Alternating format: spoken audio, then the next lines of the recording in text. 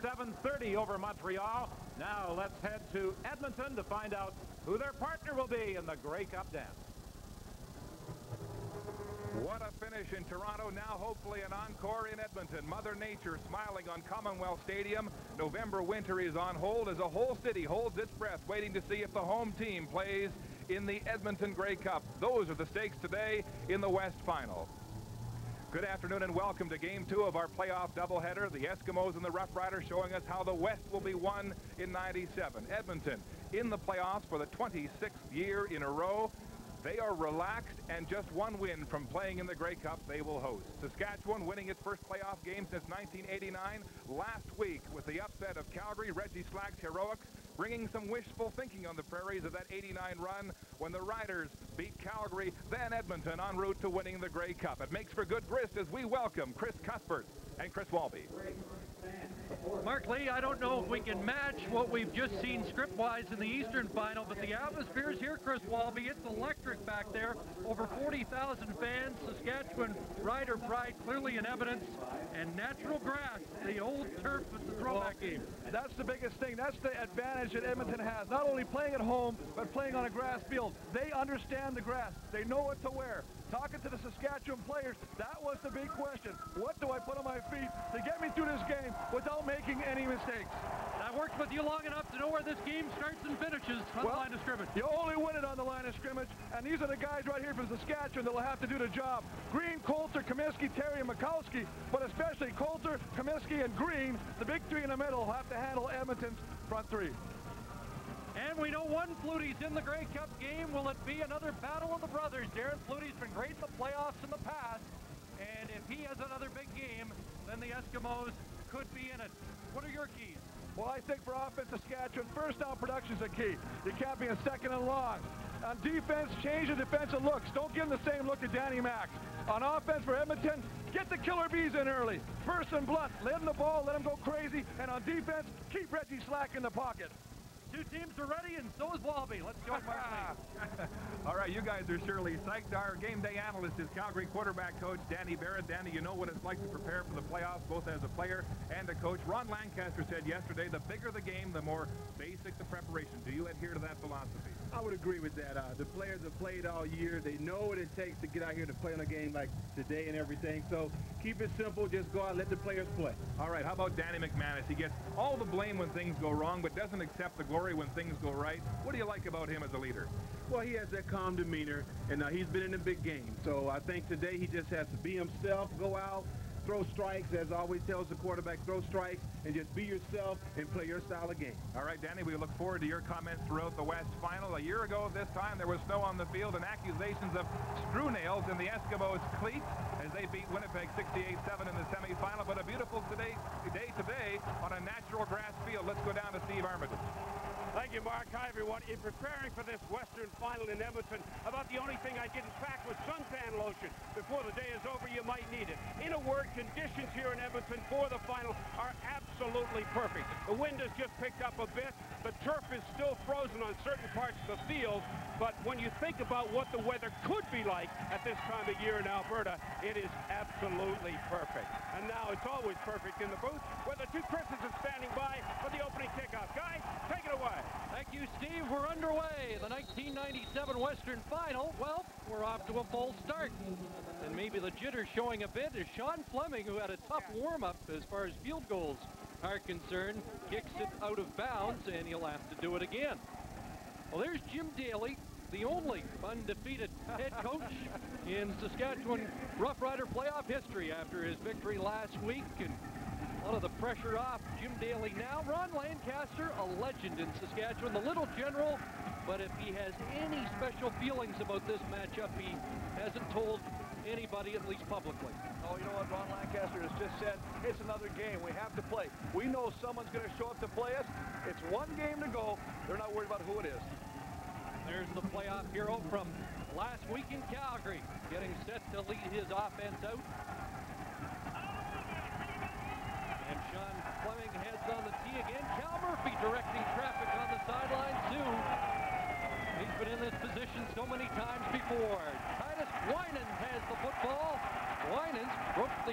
tackle and is out to the 47-yard line. And that's where Reggie Slack and the Saskatchewan Roughriders offense will start for the first time today. There were the numbers last week, and he did most of his damage on the ground. Well, he just turned things that were disadvantaged into advantage, kept drives alive, and he really was a one-man Calgary Stampeder killing machine.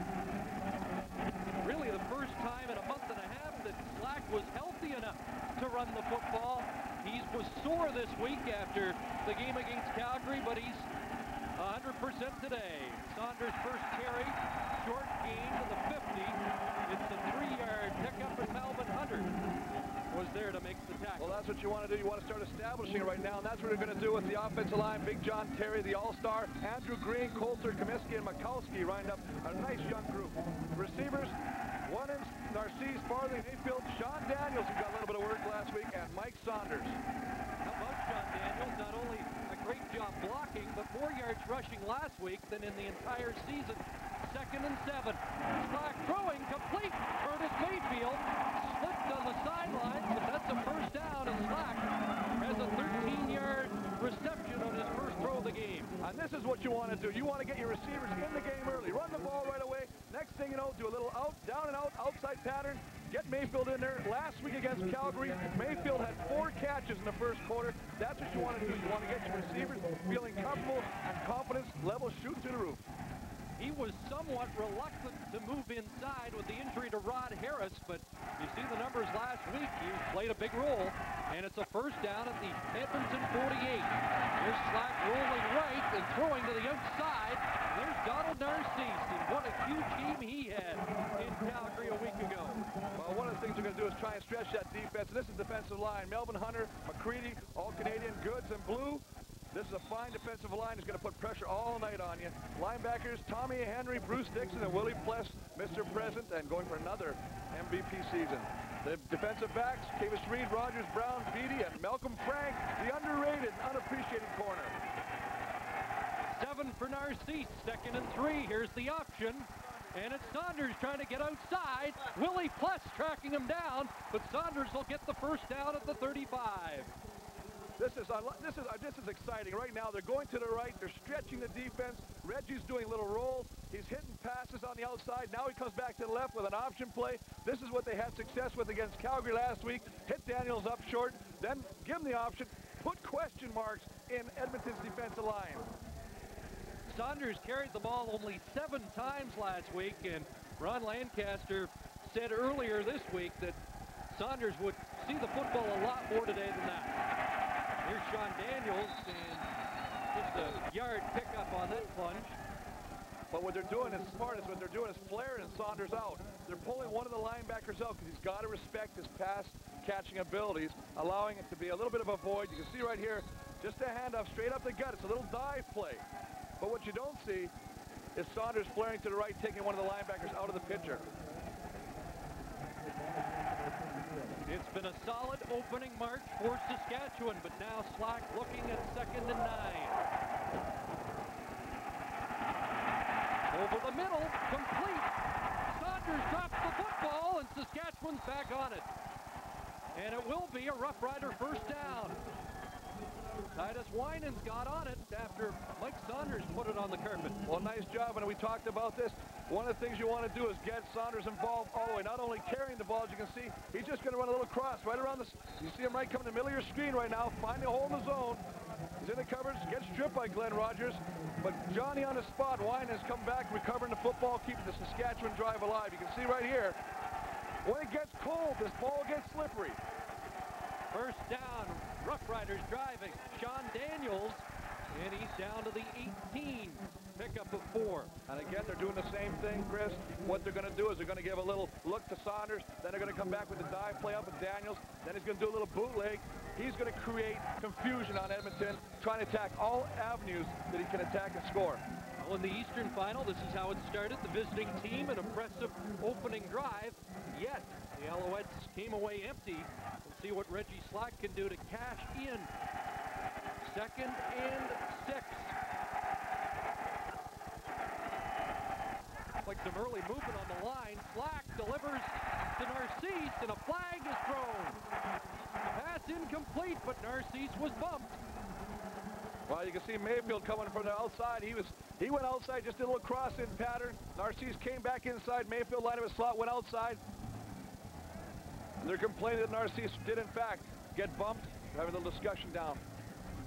John Ireland is the referee. Donald Narcisse, an 11-year veteran and uh, clearly one of the inspirational leaders of this team. Forward pass interference. Edmonton number 17. First down. Derek Beatty, and the drive will continue. And one of the things I do like about what the receivers are doing is they're putting themselves in such a position that if they can't catch the ball, the defensive backs can't catch it. What I mean by that is they're shielding the defensive back away from the ball. It's a good job by the receivers of Saskatchewan. Last week, Narcisse, and the highlight was a 39-yard touchdown pass in the final minute of the first half.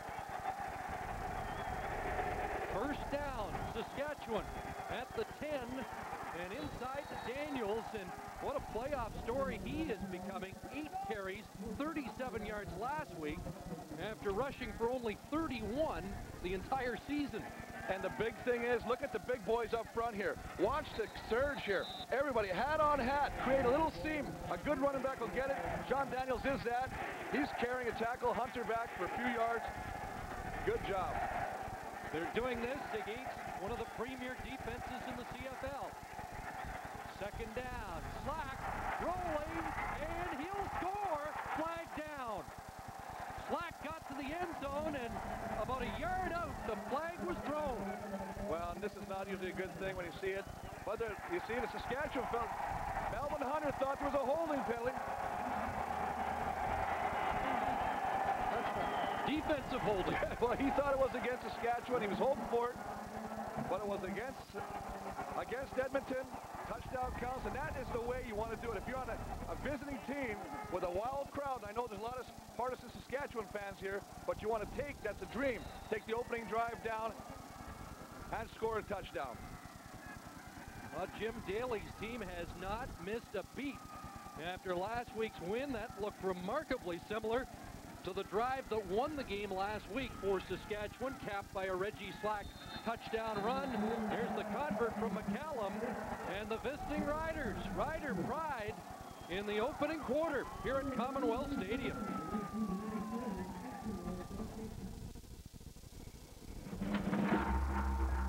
There's a reason a certain organization chose Plymouth Breeze for its people.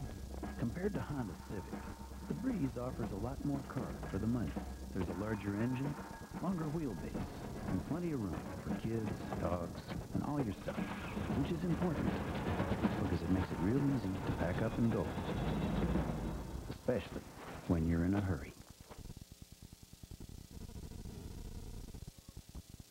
Well, ExpressVu has bundled up all these amazing TV stations according to your interests, like sports or movies. Or culture. Yeah. Which means that you can choose the packages that you want. And not pay for what you Just don't like want. my sweet William here. A god bundled up all the things I wanted in a man and left out all that other stuff.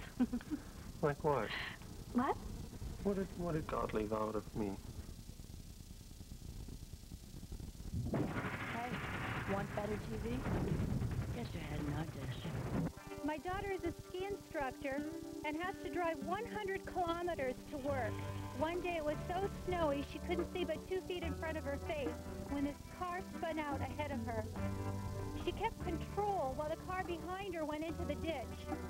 It was only because the car had Blizzaks that I let her drive alone. Even if the Blizzaks were $1,000, they would be worth it for my daughter. Blizzak by Bridgestone, the winter tire that sticks to ice.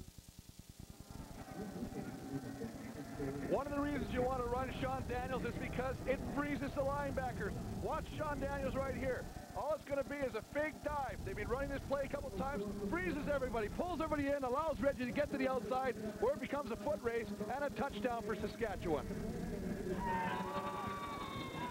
Mike called last week the biggest game of his career, and he's off to an even better start here. Six and a half minutes the opening drive, and here is Henry Williams. And look at Gizmo explode up the middle to give Edmonton good field position for their first possession of the game. Well, the Giz has been doing this for so many years. He's got the great eyesight, the Wayne, Wayne Gretzky on a football field. He just finds an opening, and he's got such great tremendous acceleration. Finds an opening and bam, instant field position for Edmonton's offense. Danny McManus to lead the Eskimos attack. Remember, the Eskimos with the bye, so they haven't been on the field since October the 25th. McManus this year, seven games where he passed for over 320 yards. Out of a scanner formation you see in Toronto, and it's Eric Blunt trying to get outside and nothing doing as Terryl Ulmer moved up to stop him for a loss. Just a great job by Saskatchewan's defense of stringing it to the outside. That's what you want to do, allow everybody to come up and get your run support. Ulmer comes up, makes a nice stop on the play. As you can see, Danny McManus, 4,099 yards, 22 touchdowns, 19 interceptions. That's a nice ratio for Danny. I know he's taking some unnecessary heat for that ratio. Well, it's a passing situation here, second and 12.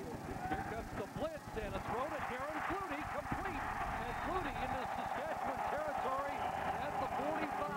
It's such a familiar combination, and it clicks immediately for 20 yards. And you cannot beat the experience of a wily veteran like Flutie. Finds the seam, sits behind there, just gets behind Todd McMillan. Nice job. You can see him coming under here. Just going to check off, find the opening. Ball's on the money, gets up. Todd McMillan has to make the play, doesn't. But Greg Clark is there to wrap him up. The ball at the Saskatchewan 46.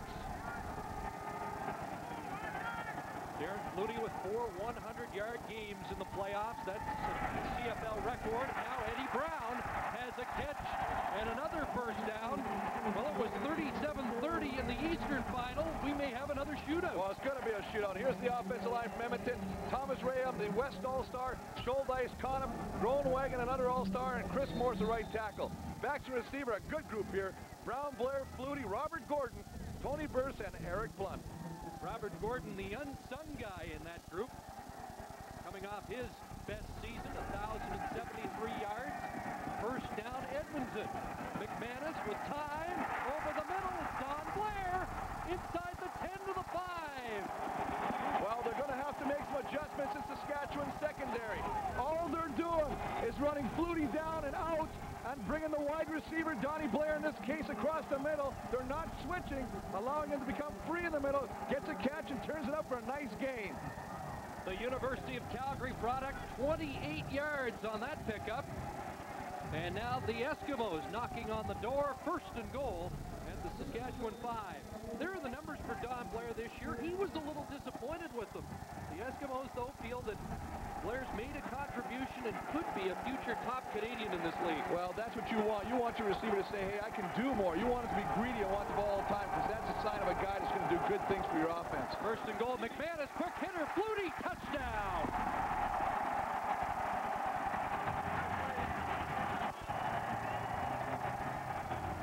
There's the experience again. He just finds him over the middle. A quick dump. They expect them to have the option either run the ball or pass the ball. Danny McManus would rather pass the ball. And Darren Flutie, as he's done so many times, finds a little seam right by the goal line. Nice catch. Nice throw. Touchdown, Edmonton. Almost looked too easy, Chris. Well, the way the two offenses have been going up and down the field, the first two opening drives, it's going to be some points scored, I got a feeling. Well, that play looked uh, familiar. Shades of 94 and BC Calgary. McManus to Flutie. Jim Daley. And the Rough Riders scored first, but the Eskimos answer right back.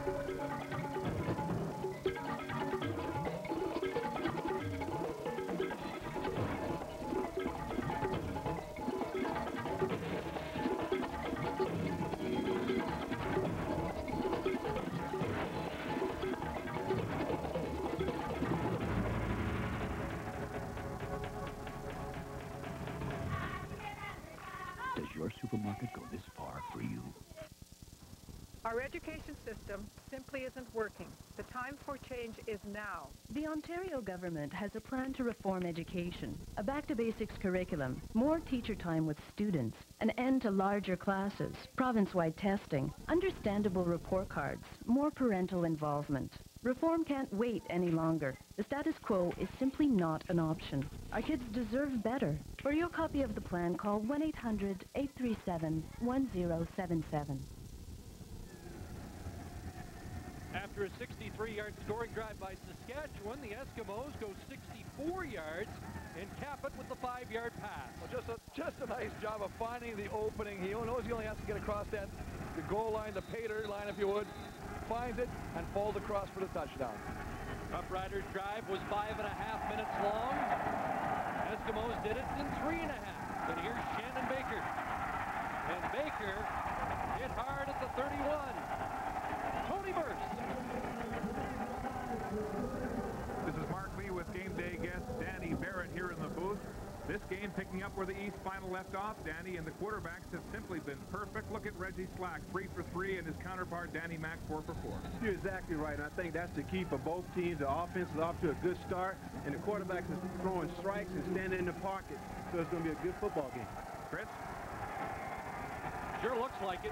Last week, Reggie Slack directed his offense to over 400 yards. And here's Sean Daniels inside. Third carry for Daniels already. Not much there. Well, you know, you're only going to get three yards, and if you break one, the one thing I like about this play is with the linebackers up tough of Edmonton, if he breaks through that initial defensive line, he's going to go for some yards, and it does beat up on those defensive linemen. Big Benny Goods, one of the anchors of that Eskimo defense, an all-star again this year for the fifth straight season. Rick Walters has checked in, the Edmonton native, as an extra receiver on second and seven. Pressure on Slack, he'll step up, and Reggie has the first down and more across the 45. That's the element he brings to the table, a 12-yard pickup. And Chris, you hit on it earlier said he's finally healthy. He had a, you know, his knee was bugging him, his back has been bugging him. He hasn't been able to do all the things that Reggie Slack knows he can do, and this is one of them. Take off. He's about to get, there's nobody open. He's about to get sacked. Takes off, makes something positive out of something that's not there. Well, it's a remarkable story. This guy retired in 94 because the knee was just too beat up. Synthetic lubricant for the knee, and uh, almost 100%. Here's Mike Saunders finding some room off the right side, up to the 52, a five-yard pickup. Well, that's the first time they ran that play. That's just a delayed counter where you bring your lineman from one side of the field across and try and kick out. That's something that Montreal likes to do a lot of with uh, Mike Pringle. And you can see he's just following his offensive lineman. There's John Terry coming around. He hops over tackle and gets a few yards on the play. What a season for Willie Pless, Plus, 116 tackles, a career high for a guy who has rewritten most of the records defensively in this league. And again, the nominee as the top defensive player in the West. Second down for Slack, under the gun again, and he gets away! More yards for Reggie Slack, down to the Eskimo 37. Wow, you just can't buy that kind of production right there. That's what you want. That's heart. I played with Reggie Slack, and I tell you, you're talking about a guy that had to go for needles all the time in his knee. They were shooting Teflon or something to keep it coated, and this guy will just do whatever is asked for. He's a consummate player, and in my books, Reggie Slack has always been a winner. Must still be using the Teflon because none of the Eskimos are sticking to him. Well, he might have it on his sweater this time, but he's definitely doing a number right now. Clock running with three minutes to go in a wild opening quarter. First down, Saskatchewan. Over the middle, wide opens Mayfield. Mayfield. And he's that touchdown. He got to the corner. It's a 37-yard score. Well, you...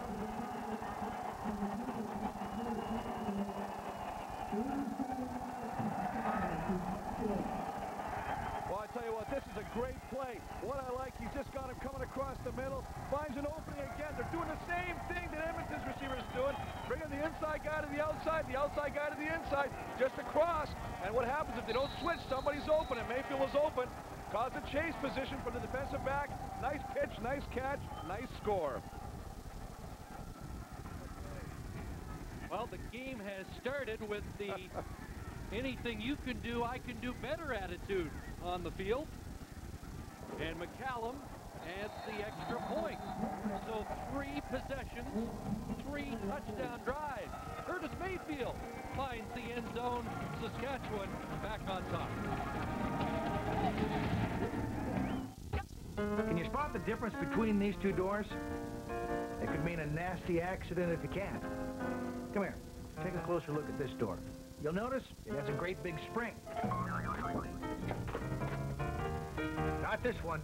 This door has the patented Wayne Dalton Torque Master counterbalance. It's easy to use, easier to install, and there's no surprises. You want to be safe and sound? You, you want a Wayne Dalton door. Our education system simply isn't working. The time for change is now. The Ontario government has a plan to reform education, a back-to-basics curriculum, more teacher time with students, an end to larger classes, province-wide testing, understandable report cards, more parental involvement. Reform can't wait any longer. The status quo is simply not an option. Our kids deserve better. For your copy of the plan, call 1-800-837-1077.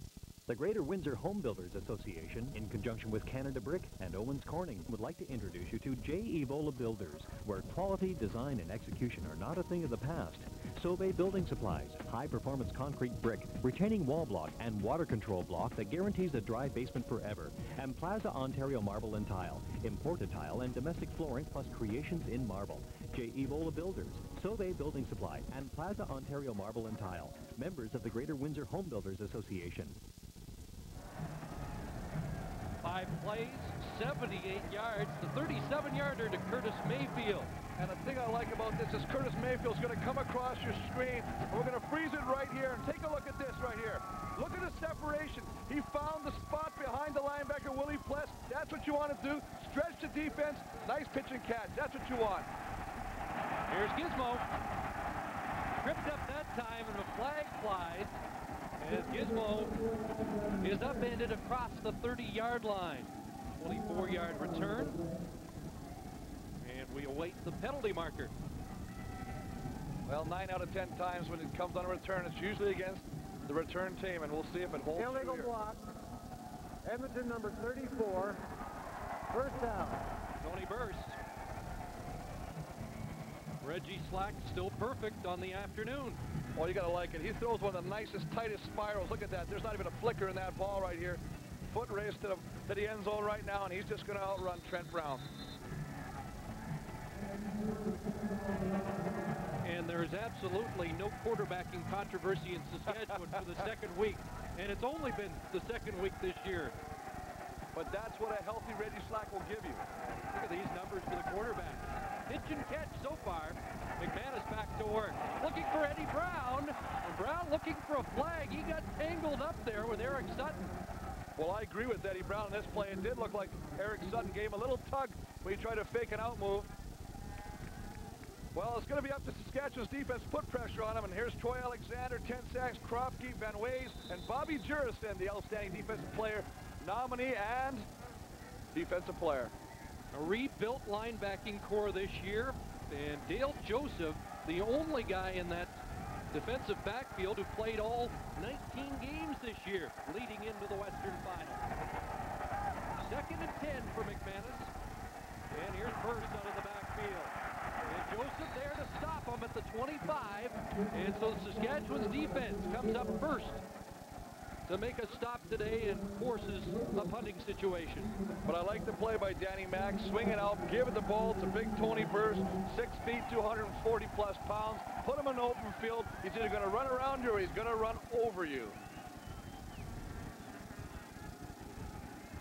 So the first punt of the game upcoming from Sean Fleming. And the Eskimos leading the league this year in punt coverage. Shannon Baker is back.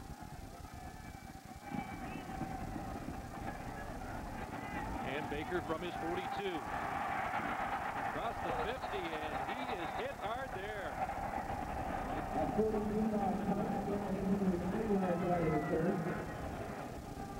You'll never get left out in the cold with MotoMaster, Canada's number one selling brand of batteries. Available only at Canadian Tire, Canada's auto parts store, made better. Chris, Wally, Wally Buono was saying last week prior to the Western Semi that there are times in a season when a quarterback gets in such a zone, it doesn't matter what you do defensively. Looks like Reggie Slack is in that zone. And that is all called confidence. Things are working. Everything's working right now. And if they do stuff a play, he comes back with it. And that's what you want out of a quarterback. And that's what makes teams that may be mediocre during the year rise to big heights in the playoffs. Well, that first game of the day was a beauty. The Argos prevailing 37-30 in a classic, and Mark Lee will talk to the hero Pinball Clemons, who scored the winning touchdown. Pinball will join us live at the half of this Western final. In the final minute of the opening quarter, second down and nine. Slack looking downfield. Narcisse in a real battle there against Reed, the all-star corner, and Reed comes up big that time. And I tell you what, he did some great, he just did a great job, Kavis Reed did of coverage here. Narcisse tried to stop, try to freeze him, and keeps going, picks up the acceleration again, and Kavis stays with him step for step right here. This is as good as coverage as you're going to get. That is excellent coverage. Six All-Stars on the starting defensive unit for the Eskimos, including Kavis Reed, and for the first time today, they forced the Riders into a punting situation. McCallum to kick it, and this is where Gizmo can turn a game around. And Williams up near the 30 and still going and drove all the way to the 33. So a 23-yard return for the Giz after a 50-yard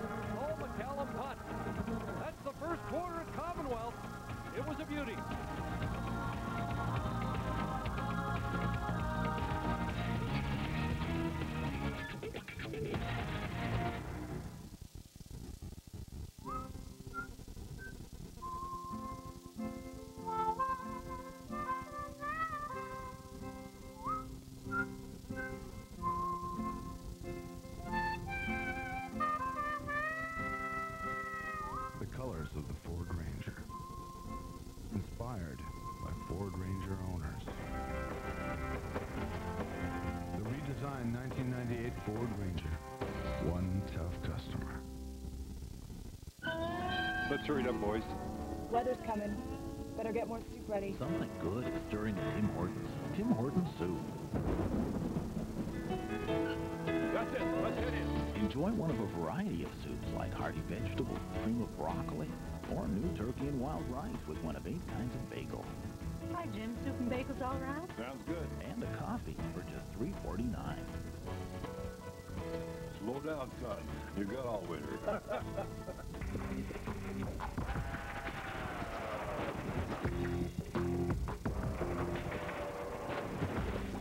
world of small business, things can get rough. Really rough. Especially when it comes to your cash flow. Introducing the TD Venture line of credit Visa card. The cash your business needs when you need it. TD, we're here to help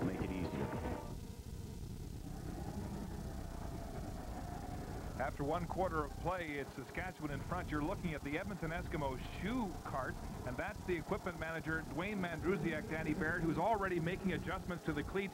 We've seen some uh, situations where Sean Daniels had trouble with footing. Well, that's true, and uh, again, uh, they have to be very careful what shoes they have on, especially for a guy like Sean, who's going to touch the football quite a bit today.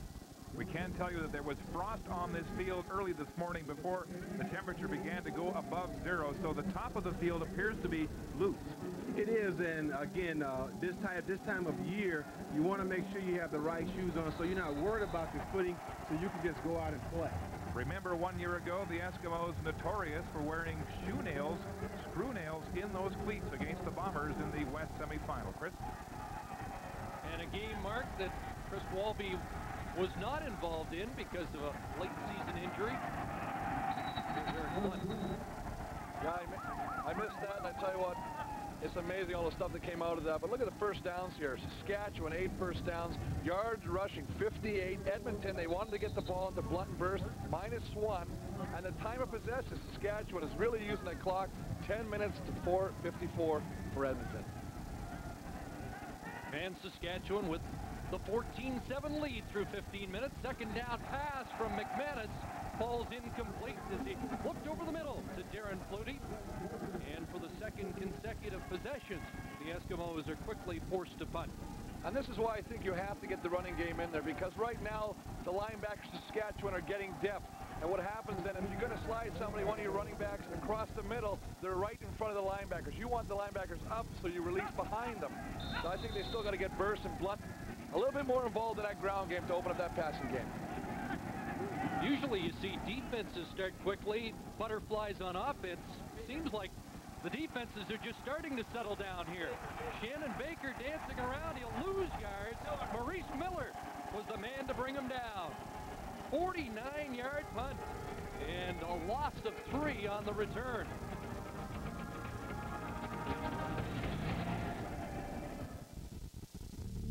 Looking for the ultimate combination of features and utility? Introducing the Dodge Caravan Plymouth Voyager Family Value Package. With air conditioning, dual sliding doors, 3-liter V6 engine, and 7 passenger seating. All at a price that will give you the most popular minivan on the block. Making money isn't the hard part. It's keeping it. I'd like to get rich. I'd also like to get to the end of the month. When I control my costs, I control my business. We know. And if you check your bill this month, you'll discover Bell has cut Advantage long-distance rates up to 32% for small business. And that's beyond what you're already saving. Bell Advantage is saving small business more than ever before. Call to find out how.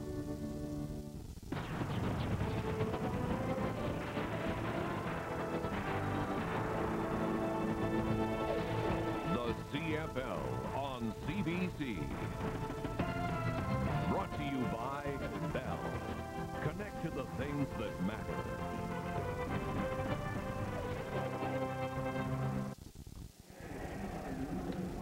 Coming up next Saturday, the Bank of Montreal Nations Cup. First of three shows from the Royal Winter Fair. Join Scott Russell, Terry Leibel, and Tom Harrington at 2 o'clock Eastern next week. 14-7 in the Western Final, the visiting Saskatchewan Roughriders. And the, the Rider Riders are here in, in big numbers. I wonder if he had to buy three tickets. Three heads are better than one, they say. Well, they have invaded Edmonton for this weekend, and they'd like to stay a week. There's the give inside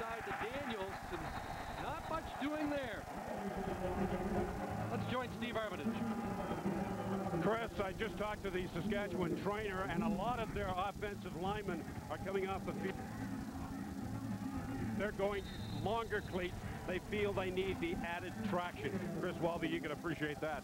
Well, big time. One of the things that happens, playing on this field, it's like, uh, I'll make the analogy, it's like playing on a carpet that's laying on a wood floor. You get the good grip in the beginning and you're sliding after you get to the depth. Second down. Here's slack to Mayfield, and Mayfield can't hang on. Boy, Curtis Mayfield's been open so far this afternoon. That time unable to reel it in.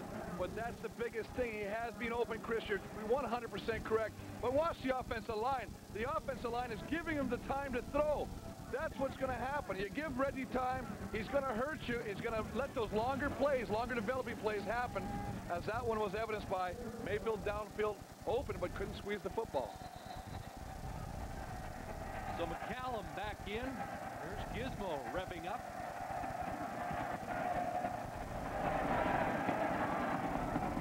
Ball bouncing away from Williams. At the 42. Gizmo surrounded and no room to operate that time. A 42-yard punt with the roll from Paul McCallum.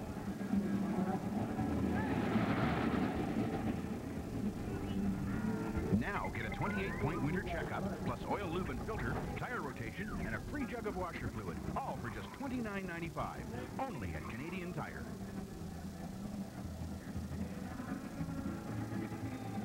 Well, Jim Daley said uh, we have to be at our best to win, but they've beaten the best this year. They've beaten Toronto, they've beaten Edmonton, beat Calgary to get here, and Ron Lancaster says they're not here by any accident. They deserve to be here. Well, they said that, you know, Saskatchewan's record against Western teams this year was 5 and 5. Edmonton's was 6 and 4. He said, so anybody can beat anybody on any given day. So that's what he's worried about. He says they did not fluke their way into the final. They earned it. And the offenses that could do no wrong in the opening three possessions of the game are slowing down. Danny McManus was four for four, and he's missed on his last four attempts. And I think one of the things you want to do is change things. Don't start getting into a rut. I think when you first come out, the defenses are tight. They're trying to recognize things. They got a million things going through their head right now. As a result, the offenses can sometimes catch fire quickly, but as the defenses start to relax, they start to recognize. Second and 10. Over the middle, complete. Robert Gordon has the catch. Ryan Carey, the safety, the tackle. Gordon claiming there was a face mask, and there is a penalty marker down. Well, I think he was hog-tied by Ryan Carey, and I think they're going to march up an extra 15 on this one. 17 yards, the pickup for Robert Gordon. You see the numbers on the year. Face mask, Saskatchewan number 47, first down. Well, I apologize to Ryan Carey. It was Ron Goetz that got the call. But you can see this comes across. You a little slip right there. You can see the field slippery. Makes a nice catch. There's Carey, and it is Ryan Carey. And I'll just have to talk to the referees after the game. well, Robert Gordon was on a team that won three games last year. The Ottawa Roughriders is looking for his first playoff win. McManus now goes to work. Looking for Eddie Brown. Brown, what a catch! And he's down at the one. You don't get a moniker or a nickname like touchdown Eddie Brown for nothing. We saw in the Grey Cup when he caught one off his knee, his foot, and back into his hands, the concentration. And this is another example of this phenomenal catch. Over the wrong shoulder, turns and catches it. Watch this throw. He's flipping, it's looking over the shoulder, it gets touched by the defender, and still has enough presence of mind to catch the ball, get up and try at least fight it to the end. Look at that, that is just on the money. That's dropping it into the bucket. That's big play right there. We've talked about it over the years with Eddie Brown. If he is involved early, he's especially dangerous. A 10-year veteran. And now the Eskimos' Tony Burse trying to punch it in. No signal. And it will be second down. Tony Burse has been almost automatic this year with 13 touchdowns. You know, Chris, you got to give Saskatchewan's defensive line credit, but I'm not too sure I agree with what Tony Burse is trying to do at the end of that play by stretching up from the back and putting the ball over his head, trying to cross that line. All it has to do is be punched across or punched out of his hands, and it could result in a fumble. Greg Marshall saying the defensive coordinator punched that football. Dan Rashovich checks in to bulk up the line and Burse again. No signal except from Danny McManus. And Rashovich celebrates. Well, these guys are fired up, and if you're going to earn it, you're going to have to do it the hard way. They've tried to. They went to the right. Nothing happened. This is a great job. Look at that. You can see Leo Groenewegen get pushed back. You can see Rasmus. You can see Gary Sutton. That's what you want out of your defense. Don't let one guy make the play. Gang tackle him, baby. Dan Rashovich, 36 years of age, a 14-year veteran, and now third and goal, and the fans on their feet at Commonwealth. McManus, keeper, won't get there. Tossed it into the end zone, but the play was dead. Well, Chris, you just talked about Dan Rasmus making the play last play. Look at this. He reacts. Danny Mac fakes the dive play inside, hoping to suck the linebackers inside, hoping that defensive line will pinch. Instead, they stay with their with the people they're supposed to cover. They don't get fooled. Rashovich goes outside. Danny Mac has no option but trying to beat the run. Watch this. There's the fake. You can see Keith Gary goes with the fake. But watch out, it's corner of your screen. You're going to see not everybody was fooled. And there they are. They stop, and Rashovich is there. Sutton is there. That's what you want. Rashovich, one of only four Saskatchewan Roughriders that was there in 89 for the Miracle Run. So the Riders take over on downs from their own one. Dangerous territory. Slack looking deep, looking for Winans. He has him. Glenn Rogers, the only man there. Winans trying to get by him, and Rogers the touchdown. How do the tides of emotion work? You just saw that Saskatchewan's defense, three plays stopping him on the one-yard line. What does Reggie Slack do? He doesn't get conservative on the one-yard line. No, he goes back. He's got confidence in that O-line and that fullback and throws a bomb to Winans. Now they are in scoring position. Winans with great speed, 81 yards. A late addition to the Saskatchewan team. Originally a third-round draft choice of Washington. And the play of Winans is the fact why Ron Harrison got in the lineup.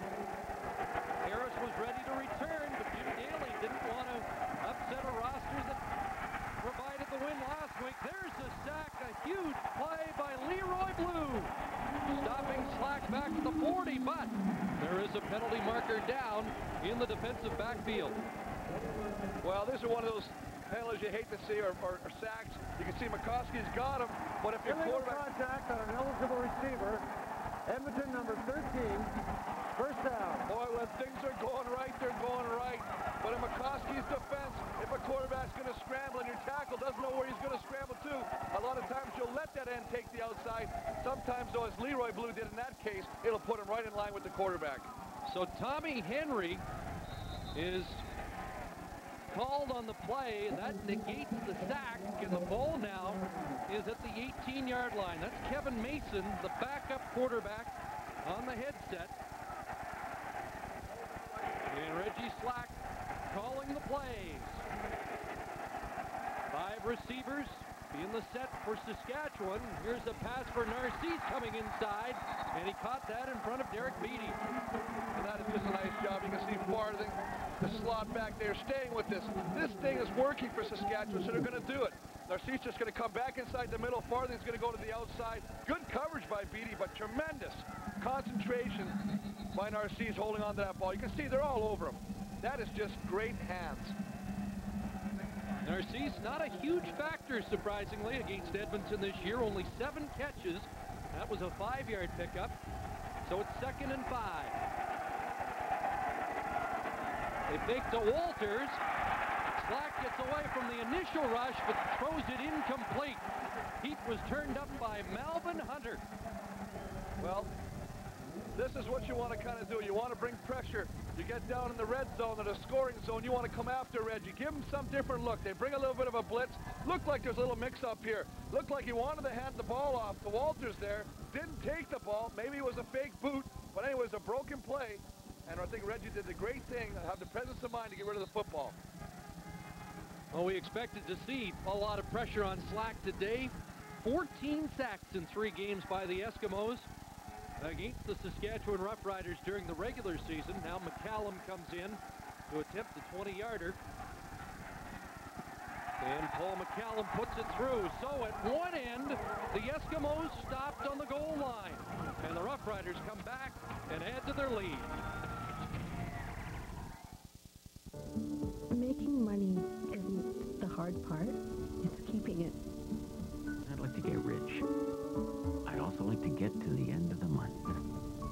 I control my costs, I control my business. We know. And if you check your bill this month, you'll discover Bell has cut Advantage long-distance rates up to 32% for small business. And that's beyond what you're already saving. Bell Advantage is saving small business more than ever before. Call to find out how. Our education system simply isn't working. The time for change is now. The Ontario government has a plan to reform education, a back-to-basics curriculum, more teacher time with students, an end to larger classes, province-wide testing, understandable report cards, more parental involvement. Reform can't wait any longer. The status quo is simply not an option. Our kids deserve better. For your copy of the plan, call 1-800-837-1077. They definitely have the edge. because certified general accountants have the qualities that business, governments, and individuals are looking for. You could say that their professional contributions represent valuable assets. In fact, CGAs are highly prized. Perhaps that's why they have such a following. Just 10 of over 25,000 certified general accountants. We're the name brand for business in Canada. An emotional goal line stand by Saskatchewan. There's the inspirational leader, Bobby Jurasin. You knew he'd be fired up for this Western Final. Football is a game of emotion. And today the emotion level will be higher than it was last week. The guys are fired up. We have nothing to lose. We're the underdogs. Uh, they were the champs out of the West. They're hosting the Grey Cup. All the pressure's on them. We're going to go out there and uh, let the chips fall where they may and hopefully we're on top at the end. The only thing he's got to lose is that hat, Chris. Well, the hat, and I think he needs the playoff money to buy some razors. Here's Gizmo, and he leapfrogs up to the 45. He looks like he's poised to break one today, but that's nothing new. Well, you see those eyes, they're determined. He'll do whatever it takes to get at least good field position, and he does it time and time again. 29 yards on that return. And an injured Saskatchewan Rough Rider, Vincent Donaldson, is down. Well, this will be a big blow. I think he's a tremendous cornerback, and he's a. What I like about his is his run support. He comes up and punishes the running backs. He's had a hard time. He's had a hernia operation. He's missed a few games, but hopefully he's okay.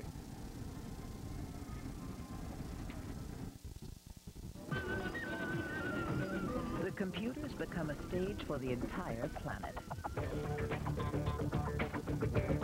Better get a good seat. Haworth, furniture for what's next. The hitman, Vincent Donaldson, getting attention, a seven-year veteran of the Saskatchewan defensive backfield.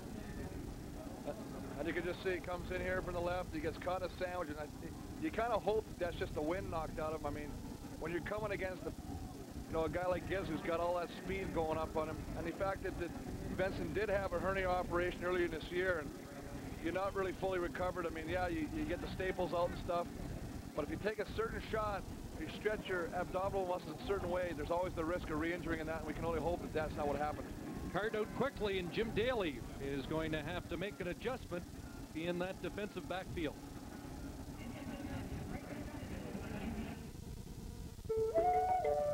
I'm going to find ways to feed the hungry. I'm going to clean up the lake. I'm going to be Prime Minister. I'm going to make our economy strong.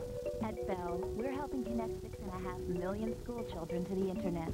Because when kids have access to knowledge, everyone's future looks brighter. I'm going to make Canada strong. That's what I'm going to do. That's what I'm going to do. That's what I'm going to do. That's why everything we do connects you to the people, places, and things that matter. Parker!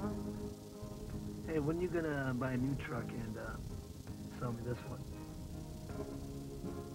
You know, you deserve a new truck, man. Oh, come on, man. You know, I've been asking you for years how much you want for it. You know, ballpark, what do you think? I mean, you're gonna keep it forever? Come on. Great. Chevy. Long-lasting, dependable trucks. I think I might know someone who can take it off your hands for you. Really? I run with scissors. Yeah, I do. I wear white after Labor Day. Sometimes I paint without putting down newspaper. Everyone has a different view of risk. Um, sometimes I'll take my garbage out in my underwear. At Canada Trust, our Breakthrough Personal Investment Program gives us an in-depth understanding of your views on risk, letting us personalize a plan that's right for you. Call now for an appointment. I sometimes go through the express checkout with more than eight items. I uh, get a huge kick out of that. Fourth year man Patrick Burke has checked into the Saskatchewan defensive backfield. It's been ravaged by injuries this year. Burke one of 11 DBs to play for Jim Daley's team as they are getting Donaldson onto the cart. Mark Lee with Danny Barrett, our game day analyst. Danny, as an offensive coach, what do you say to your quarterback here? You go right after Patrick Burke. Well, I think you have to take a look over there. He's stiff. He's been on the sidelines now for a quarter and a half, and he's probably going to be a little tentative uh, in his coverage. So you want to probably put Eddie Brown or Don Blair over there and see what he's up to. And what kind of experience does Patrick Burke have in a game of this magnitude? Well, if I'm not mistaken, this may be his first game of this magnitude. So again, he's going to be a little tentative. So you got to see if he's ready to play. Chris? Tell that Danny Barrett uh, has been in that. I think he's licking his chops down there. I think he's being very polite. I think that's the first thing he's going to look at right now, and he'd go after Patrick Burke right away. Well, Burke checked in. He conferred with Ryan Carey and with Bobby Jurasin. And here is Don Blair on the flanker screen, and Blair into Saskatchewan territory, a 14-yard pickup, and he's had a couple of key catches so far. And anytime you get the ball on a guy like Blair, here's a nice, a nice Canadian receiver out there, just a quick swing pass, get the boys out in front of him. But the other receivers do a tremendous job of blocking. You can see him roll blocking, cut blocking if you would. Eddie Brown with his man. That's what you want to do. If you're not, not going to catch the ball, at least get in the way and allow the opportunity for the receiver to find a seam. Under six minutes to play first half, and Eric Blount on that reverse, and he's dragged down by Gary Rogers. And a loss of three on the Blount run, and it's been a problem for the Eskimos all year establishing a running game. When I asked Ron Lancaster, can you run today, he said, well, if we don't early, we'll just go straight to the passing and game. I, and I, you know, I think he just said it, said that in jest. I don't think you can strictly live off the pass because then your defensive team can just sit in certain situations, sit in co certain coverages, and take away all of, all of your bread and butter pass plays. You have to be able to run, but you got to give credit to Saskatchewan's defense, and I think the addition of Ron Goetz has really helped them in the linebacker corps. Second down, 13 for McManus, and a knockdown there. Big defensive play by the middle linebacker, Greg Clark. Let's check in with Steve Armitage. Chris, the news on Donaldson is not good. He has a torn patella tendon, and that means he won't be back in this one. So for Saskatchewan Roughrider fans, the news is not good. A torn patella tendon. So the hitman has taken a hit, and that's a tough break for a long-time Rough Rider. Fleming on third down. The punt angling out at the 19-yard line. So the Edmonton Eskimos are down by 10, just a 34-yard punt by Fleming. And Reggie Slack would uh, dearly love to pad this lead. But this is a veteran Eskimo team, Chris, and uh, they are quite capable of coming from behind. 14 Eskimos with five years or more experience, eight over 10 years in the CFL. Well, they know there's four quarters to a football game, and they don't panic just because the score's this way in the second quarter. First down, Rough Riders. And Slack guns it downfield. Narcisse could only get a hand on it. Incomplete. Trent Brown there, the safety. Well, you wonder how long it's going to take for the Edmonton defensive backs to recognize this. They've run it time and time again. We've talked about it. All they're doing is lining the slot back and sliding him out to the corner of the field and bringing the wide receiver across the middle and hopefully catching Edmonton in a bad switch or banjo situation and allowing one man to come free. And that time the ball is just a little off or I think Narcisse might have had it. Second and 10 for the slack attack. Four receivers right side. Here comes the rush, and they get to him.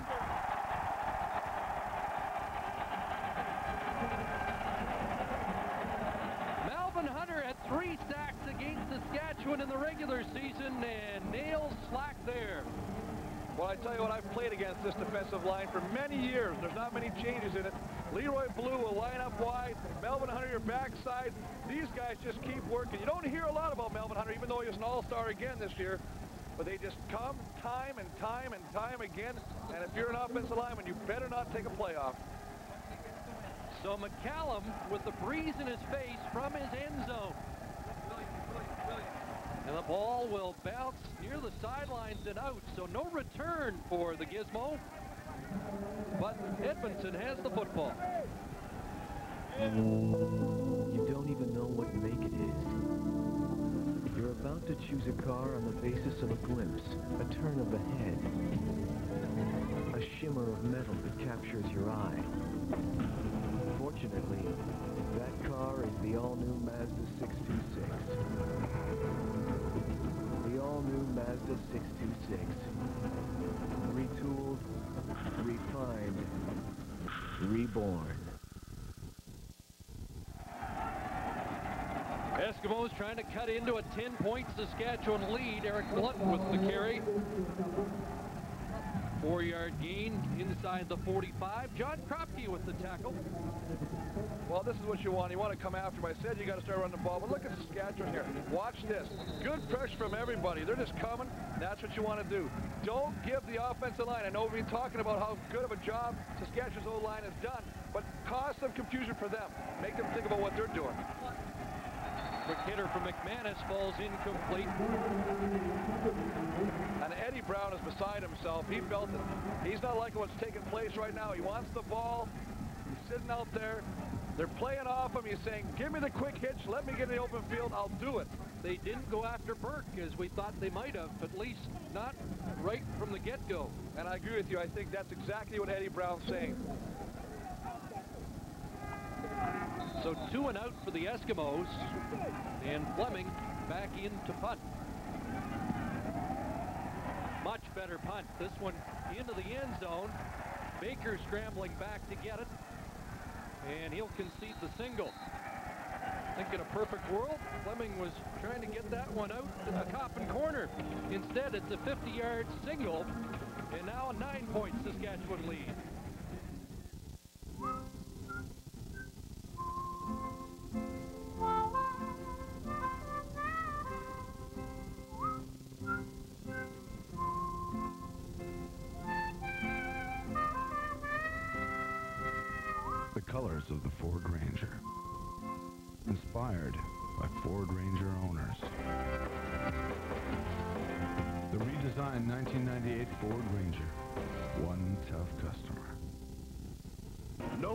One's ever played basketball like Medfield College. You've seen the team. They should have their own telethon. But the world's most absent-minded professor has just found the perfect solution.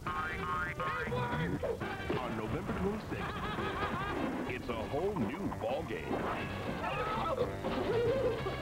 Mommy. Robin Williams. Flubber! Flubber starts Wednesday, November 26th. Aaron is a champ, a member of the War Amps Child Amputee Program. He visited the Sky Dome to present the CFL with the Play Safe Award. Aaron knows what it means to play safe. He lost his leg in a lawnmower accident. Thanks, Aaron. The CFL is a proud supporter of the War Amps Play Safe program. Aaron, do you have a message for the other kids watching today? Safety is no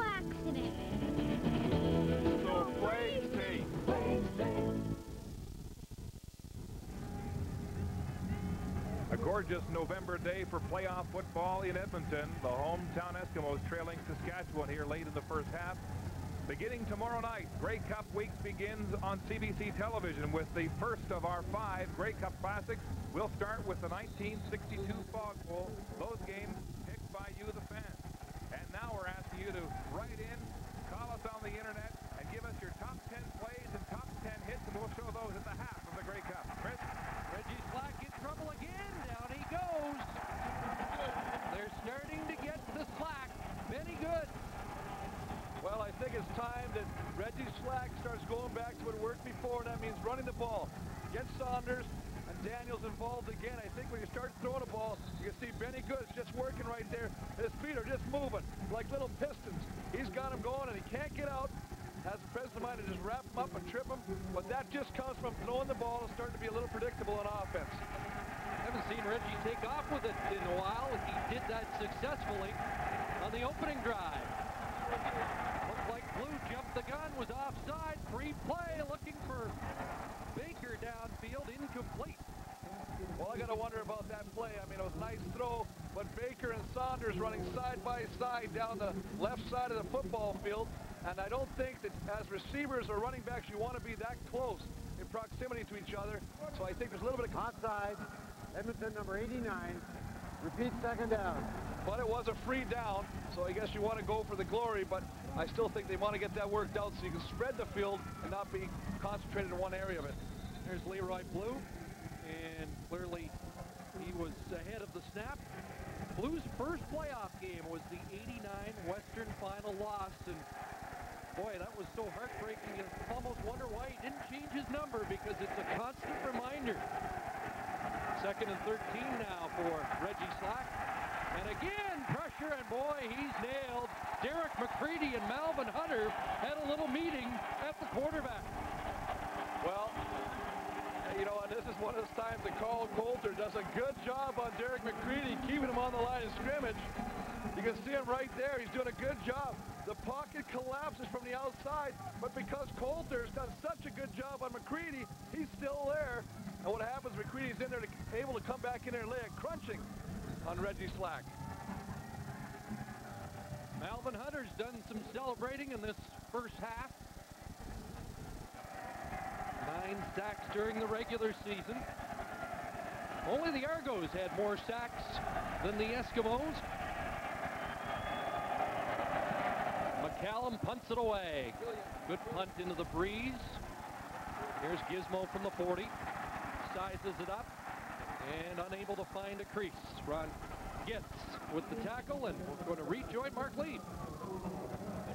And Chris, coming up at halftime, we will talk live with Mike Pinball Clemons in Toronto, where earlier today the Argos defeated the Montreal Alouettes 37-30 to win the East Final on Clemons' thrilling last-minute touchdown. And we'll also have first half analysis from Chris times two. Wonder if Pinball's caught his breath after that dramatic win. What a scene in the Eastern Final. They just find a way to win. Eskimos down by nine as Danny McManus goes to work late in the first half. Eddie Brown, no catch. Ruled incomplete with a minute 39 to go and not much of a dispute from Mr. Brown. No, he just went down the side, coming in the middle, curl, little curl route, a little deep one, about 18 yards curl, comes back to the ball, just a little underthrown, gets his hands down, almost gets it, but as you say, goes back to the huddle without any type of objection. Just skip it right there.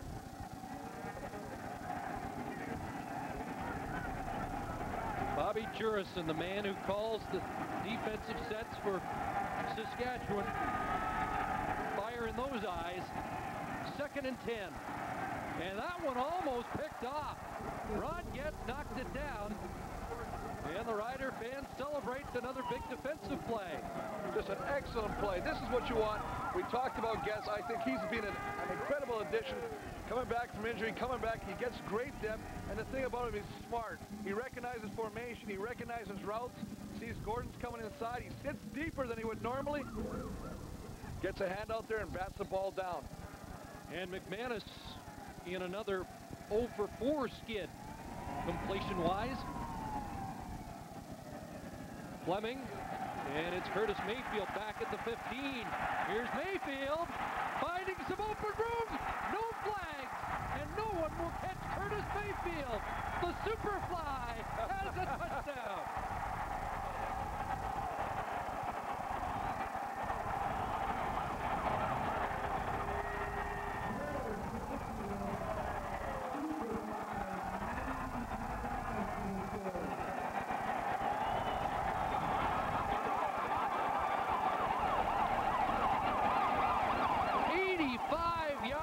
Mayfield and Jim Daley's team in a commanding position with 115 to go in the half. Well, the offense is kind of stagnated in this game. But what happens? Somebody else got to pick it up, either on defense or special teams, and that's what happened on that play. Mayfield returns the punt, finds a seam, and with his speed accelerates right through it like they're standing still, and no one's going to catch him in a foot race to the end zone. How many seen the Eskimos here at Commonwealth Stadium on a Gizmo Williams punt return take control of a game, but here it's Mayfield. 85 yards, and Saskatchewan is up 24 to 9. Just an unbelievable return. I, I, he finds a seam, avoids the tackle, cuts back in across the grain. That's what you want to do to allow your blockers to help you. Finds a seam, and he's gone. And he's looking around. There's nobody in the picture. That's how wide open he is. 85 yards, a touchdown, and I tell you what, Saskatchewan, they're not pitching themselves. They know they belong in this game, and they're going to, I tell you, the people that better pitch themselves are the Edmonton Eskimos. 95 yards is the official on the touchdown. Look at those Green Rider fans celebrating, and uh, I want to get the score right, 24-8. It was a nine-point lead. Now Jim Daley and company up by 16 with a minute 15 to go in the half. And last week against Calgary, Slack hit Narcisse for a touchdown just before the half. They gave him some more momentum going into halftime, and they know get through this half with this score, play good defense. You only got 30 minutes. 30 minutes, and we used to break that down by plays. Maybe you got 30 plays coming against you on offense or on defense to go to the cup. They kicked the ball away from Gizmo. Bobby Gordon letting it bounce down there near the sidelines. Boy, Saskatchewan got down there and almost picked up the loose ball. That's McMillan flying down there. He took Cal Murphy out. Cal's already been knocked out once this year in Hamilton. Not a tougher guy in the ballpark, though, is there? Well, I tell you what, you're right. Cal's taking more shots, and you can see him right there. And, you know, he's got fear. He, he just panicked. He's going, not again, not again. I just got the cast off my arm. Illegal kickoff. Saskatchewan number four. Re-kick. The amazing thing about that injury in Hamilton is it didn't knock him out of the game. He was back for the fourth quarter. Well, we talked before the game, and he still talks about it because his bones have not healed properly. He's got a bit of a bump underneath the wrist because they can't put a pin in there. The bones are a little too fragile. But he was so scared about hitting his head in those dugouts in Hamilton. They're all concrete. So he said, you know, I turned my head the last second. Otherwise, it might have got me in the temple. 21 straight playoff years for Cal Murphy. I mean, you think he's enjoying this a little bit more than last year at this time. Yeah, it was ugly last year, I tell you that. There was not a crowd waiting for us at the airport. Cal laughing it up and maybe telling Jim Daley to put him in, coach. Well, this time it will be Gizmo. Boy, would he love to answer back. Finds some room. Gizmo still going. And into Saskatchewan territory. Green and gold need a little jolt. Gizmo might have provided it. A 42-yard return. 66 seconds to go in the first half. Well, I tell you what, look at 89 here back. Last meeting between these two teams. Touchdown pass. Fairholm. You don't think he's excited. Jim Gregory, the victorious coach, and they go on the week later to the Grey Cup game for that classic. One of the best of all times, really. Absolutely, and we'll be seeing that now. 62. Were you on that Bomber team, the Fog Bowl team? Don't let the hairline fool you. I'm not that old. But I tell you what, you're right. That was a, that was the only game. The reason I like that game was the only game played over a two-day period. And I think that's great when you say, okay, guys, we can't see each other. We don't even know where you are. Go home, get in the hotel. We'll see you back at the park tomorrow. That's Chris Zarka shaken up on the last kickoff return. Reserve running back is on his feet. And the rookie looks like he's going to be able to continue.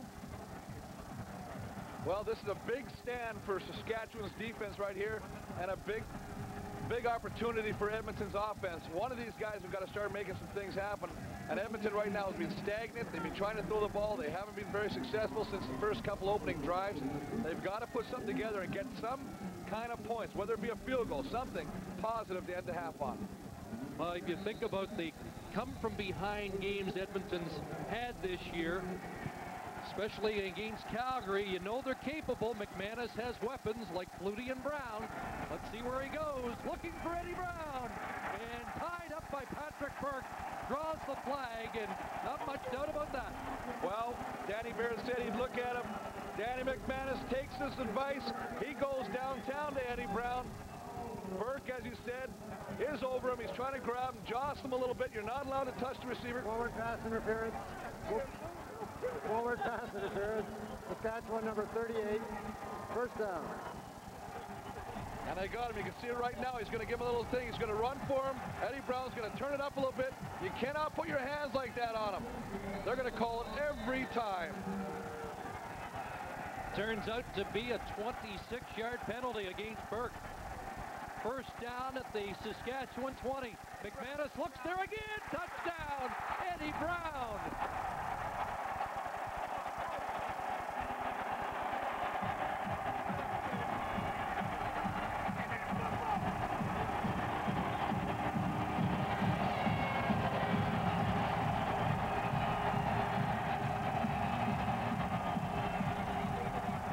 Well, Danny Barrett called it, and they finally go to downtown Eddie Brown. Well, we saw him, Chris, come off the field a couple series ago. He's very angry. He says, throw me the ball. I got Patrick Burke. As Danny said, he's cold. He hasn't been in the game. He hasn't started for a long time.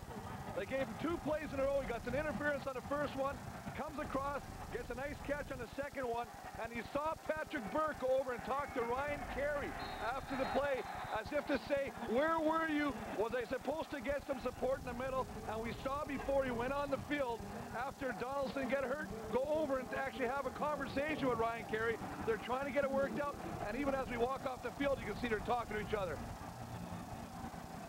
There was a real discussion in the end zone with the Rider defense and the officials about a no call on a taunting by Brown, and you saw Ron Lancaster have words with Brown as he went to the sidelines. Well, you, you got to have a guy like this. You got to use him. You got to try and exploit the weakness. And I'm not going to say Patrick Burke is a weakness. I'm going to say he hasn't played a lot because of that. He will be the weaker link in that defense and go after it. Danny Mack does and hooks up at Eddie Brown twice. And they're going to have to fix it or it's going to start leaking badly. They say that Eddie Brown now, the complete package. It used to be he just rely on his blazing speed, and now he can work a, a DB, and we saw good evidence of that. Oh, big time. Comes inside, ball is thrown right where it has to be. Beautiful catch, right as he's cutting into the end zone on the angle, going for the goalpost. That's what you like to see out of your receiver quarterbacks. 18 seconds, a couple of plays, and the Eskimos get right back in it. Shannon Baker fakes the reverse. Now reverses field, and down he goes.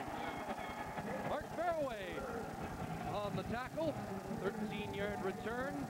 Coming out, coming up at halftime. There's Pinball Clemons. Congratulations, Michael. See you in the Grey Cup next week, and he's standing by to talk with Barkley at the half. 51 seconds away. Oh, what a great ball player he is. I mean, he just does it. I mean, you, you, a minute left in the game, he just, give him the ball, you never know what's going to happen with that guy, and he did it again.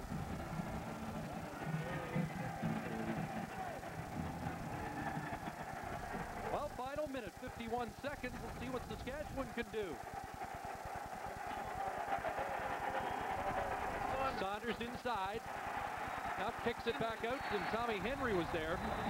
Tackle at the 26 limits the game to a couple. No, this is almost like a delayed counter. Um, they used to run it where the, the running back would take a jab step the opposite way he's going to go. Watch Mike Saunders right here. He takes a step. Now he's going to come back and fall. It's, it's a little late in timing. It's not as crisp. It's not as fluid as it should be. And I think as a result, it allows people like Tommy Henry, Willie Pless to come in and make their play. Timeout's been called by Saskatchewan.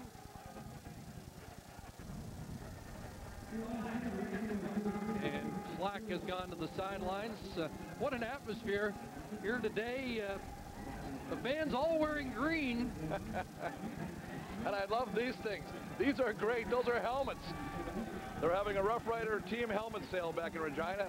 A couple of those guys bought them. Look at these guys.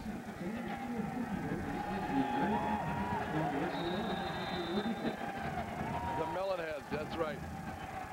Melon heads, cheese heads, we got them all. You'll be butting heads with some of them next week, Grey Cup week here in Edmonton. Oh, they're great fans. Second and eight, that timeout was by Edmonton. They want the football back again. Here's Slack, and he'll take off. Flag goes down. Slack has the first down, but this one's likely coming back. Late flag after Reggie Slack had passed. But as you said, it is a holding penalty. Not only will it negate the run, it'll put him back 15 more yards. Holding. Saskatchewan number 68. Repeat second down. Andrew Green, the big rookie guard, in just his sixth CFL start. And Jim Daley sending in Rick Walters with the play. Well, you can see right here, he's going to hold right here. There it is right there. He's just wrestling him down, and you're not allowed to pin a guy. That's a good move in the wrestling arena, and WWF officials might sign him, but it's not going to work on a football field. Andrew Green, 6'3", 304 pounds. Well, second down now and 16. Reggie airs it out, looking for Narcisse. Some bumping there. Kavis Reed step for step. Well, we've seen Reed the other side, Narcisse, both sides of the field. He is just step for step. This is a guy that Ron Lancaster says they didn't even know if he spoke. He doesn't say a word in practice, but he comes out and he has just works and works and works. He's got great team ethic. And he's so happy that he got his first Western All-Star selection because the fact is, when you're a guy that's not noticed, you're not vocal, a lot of times you're overlooked by the media. Tied for the CFL lead in interceptions with seven. Danny McManus is going to get another chance here. Gizmo Williams, Don Blair are deep. McCallum took a couple of steps before kicking it away. That was an adventure and a no yards call. And that'll be 15 yards to the Eskimos right back into scoring position here. So the 16-point lead in danger of evaporating quickly. Well, if you're... No yard. Saskatchewan number 45. First down. If you're Saskatchewan, you, you don't want to start playing conservatively. They have the last couple times. What's happened is they've had to boot the ball, kick the ball from deep in their own territory. Now they're giving Edmonton an opportunity not only to try for three, but maybe go for seven again. So a two-play touchdown drive by Edmonton. Eddie Brown the catch. The defense comes up big, the no yards penalty, and now the Eskimos have a first down at Saskatchewan 35, 24 seconds on the clock. McManus over the middle, almost picked off. Gary Rogers. Well, we mentioned Goetz before. We've seen Greg Clark, all three of these linebackers. They, Saskatchewan at his fields, they have some of the finest linebackers of up-and-comers in the league right now, and all three of them, and that should have been intercepted. I'm sure he's going to have nightmares about that one. But every one of them, from Greg Clark to Goetz to Rogers, has batted ball down, or in this instance, had an opportunity because of their depth to intercept the football. Well, remember this team started. Greg Marshall had Lamar McGriggs and K.D. Williams, and then had to change horses in midstream. McManus over the middle. Oh, big hit, but Robert Gordon hangs on. 12 yards and a first down with 15 seconds on the clock. Remember, the Eskimos used their timeout on defense, so they're into the hurry-up. This is unbelievable. This is great. And Greg Clark tackles and watch McMillan. McMillan comes in there with the forearm. He's trying to jar his head and the football loose. First down, McManus looking outside. Don Blair, and that one skipped on its way. Incomplete. That took six seconds. Time for one more for McManus before Well, they look to Sean Fleming. He just tried to throw it outside, get him one-on-one against Dale Joseph. Unfortunately, the ball skips there. Can't count that.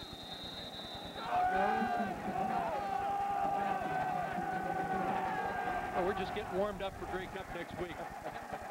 this could be a full week and a half party here in Edmonton. Second and 10. McManus looks to Brown, now has to go the other way. Into the end zone, and this one's picked off. That's a big interception to negate some points. Eric Sutton on the final play of the half. And so the Eskimos unable to cut any more into that Saskatchewan lead. After 30 minutes of football at Commonwealth, the Rough Riders lead by nine.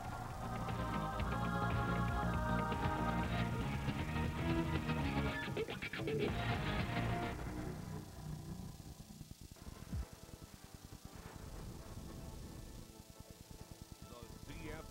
on CBC. Brought to you by Bell. Connect to the things that matter.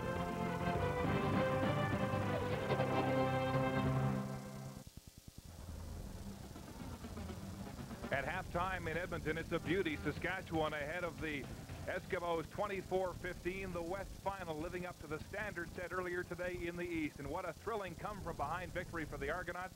who beat the Montreal Alouettes 37-30. The Argos now coming here to Edmonton, bidding to become the first back-to-back -back Grey Cup champion since the Eskimo dynasty years of the late 70s and early 80s. And joining us live from the Sky Dome in Toronto, the man who scored the winning touchdown for the Argos in that exciting final minute, Mike Pinball Clemons. Mike, thanks for joining us. Thank you, Mark. Let Pleasure. me ask Thank you. Let me ask yes. you this. Yes. What was going on in your huddle in that final minute? Was there calm or was there tension? Uh, pretty calm, and and uh, I think you noticed that Doug called his own number a couple of times in that in that last minute too. He moved the ball out, got us around midfield with a couple of quarterback draws. He has a knack for one to make the play and, and giving you a, a calm and a peace, even amidst uh, some, some quite a bit of anxiety there at the end. You guys are amazing. You know, most of the season you were winning by blowouts, and you haven't really been tested like this. What does it yes. tell us about your team? Well, you know, I, I, we're fighters, I think that's for sure. But I think it, it, may tell us a whole lot about Montreal, too. They are just an excellent, excellent ball club. It gave us all we could handle today. We're very fortunate to come out with a win. Mike, tell us about uh, the final minute and the play that, uh, the pass that you got from Doug Flutie that ended up being the game-winning touchdown. Well, it's a, it's a play that we call quite often, but I'm not often the uh, primary receiver on the play. Doug distributed the ball, got it to me, and I made a move, and I got around. I couldn't see the free safety there, so I, I kept looking. As you notice, I tried to clutch at the ball. I just didn't want to fumble the ball, didn't want to strip it because I knew we were in field goal range. I just didn't want to lose the ball, but there was all this green turf there, and just happened to score the ball. It was, it was wonderful. Now you got a chance to go to the Grey Cup uh, for the second year in a row. Uh, yes. I was talking to Robert Drummond about this. He says it's very important for you guys to become the first back-to-back -back champions since Edmonton. Well, I, think it, it, important uh, maybe later on in terms of the historic sense, but more importantly here is that, you know, we had a great season and, and uh, we went in with the idea of wanting to win the Grey Cup, getting back to the show, and anything short of that would have been a disappointment for us, not just because we won it last year, but because of the effort that we put in this year. They are two distinct years, and we still have to go out and perform every weekend, and now we got a chance to be in the show, and what a feeling it is. Mike, uh, I've got a buddy of yours with me here in the uh, booth. Danny Barrett wants to have a word with you. DV, how you doing? I'm doing great, Mike. First of all, congratulations on an excellent ball game today. Thank and I you just very want much. I just want to find out, especially for the fans across the country, you got involved yes. in the game playing early, and then yes. they went away from you. Were you 100% today, or was Montreal doing something to keep you out of the action? Uh, I was 100%. Uh, I think um, they were certainly doing a lot of uh, good things defensively, obviously, to us, and, and stumped us a bit.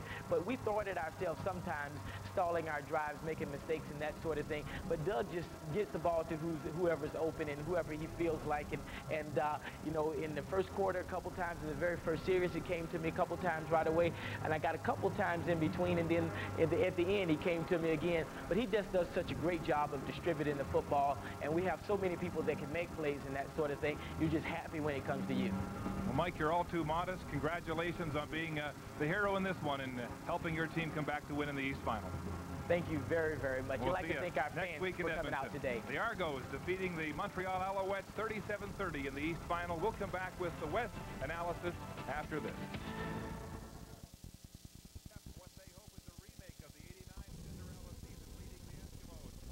15 at the half. Our coverage of the Grey Cup begins next Saturday at 4 Eastern with the Grey Cup Parade, followed by a one-hour pregame show with Brian Williams. And then, next Sunday, the 85th Grey Cup Championship itself beginning at 5 Eastern on the full CBC network. Great football game here at Commonwealth Stadium in Edmonton. Let's go upstairs for their first half analysis, and here's Chris and Chris. Mark Reggie Slack said earlier in the week, I don't want to hear about 1989, but I'll tell you what, uh, that first half looked a lot like the Western Final eight years ago. Well, you know why? Because there's only three guys from Saskatchewan that actually still on the team right now, different players, but what they're doing is it's an exciting game. They are doing things to, to Edmonton that is causing Edmonton some stuff, but the problem is Edmonton is starting to recover now, and I think Saskatchewan is going to have to go back to what worked early in the first quarter. You can see right here, watch Reggie Slack, opening drive, fakes the dive to Daniels, what they were doing early in the drive, scampers into the end zone for a touchdown. They started off early against uh, Calgary last week, and they're doing the same thing against Edmonton. And here, a big play, a great play by Saskatchewan's defense, not falling for the fake, coming up, stopping Danny McManus on a third and goal. But of course, don't ever count the Edmonton Eskimos out because watch this. The big downtown Eddie Brown Little curl in route right to the end zone. Danny Mack hits one of the numbers. Touchdown. Keeps him in this football game. I think it's interesting to note it's a nine-point Saskatchewan lead, and two turnovers by Edmonton cost them 10 points. One on downs to the goal line, and then that interception at the end. Well, and that's the big thing. Danny Mack had some pressure. Saskatchewan did put some pressure on him. He tried to force something. Sutton came up, made the interception, killed the drive. That's what you want to do. It gave Saskatchewan a little bit of lift going into the second half right now. Let's see what happens because it's only 30 minutes of football left and anything can happen in one half of football. Saskatchewan with the lead, but we thought Eskimos defense was starting to turn it up late in that first half. So Danny McManus and the Eskimos getting set for the second half, Mark. Grey Cup, and right now Edmonton in tough to break that trend. It's the dawn of the new frontier. The landscape in the world of trucks is changed forever. Ram and Dakota put Dodge on the map. Now with the groundbreaking sport utility Durango and the only extent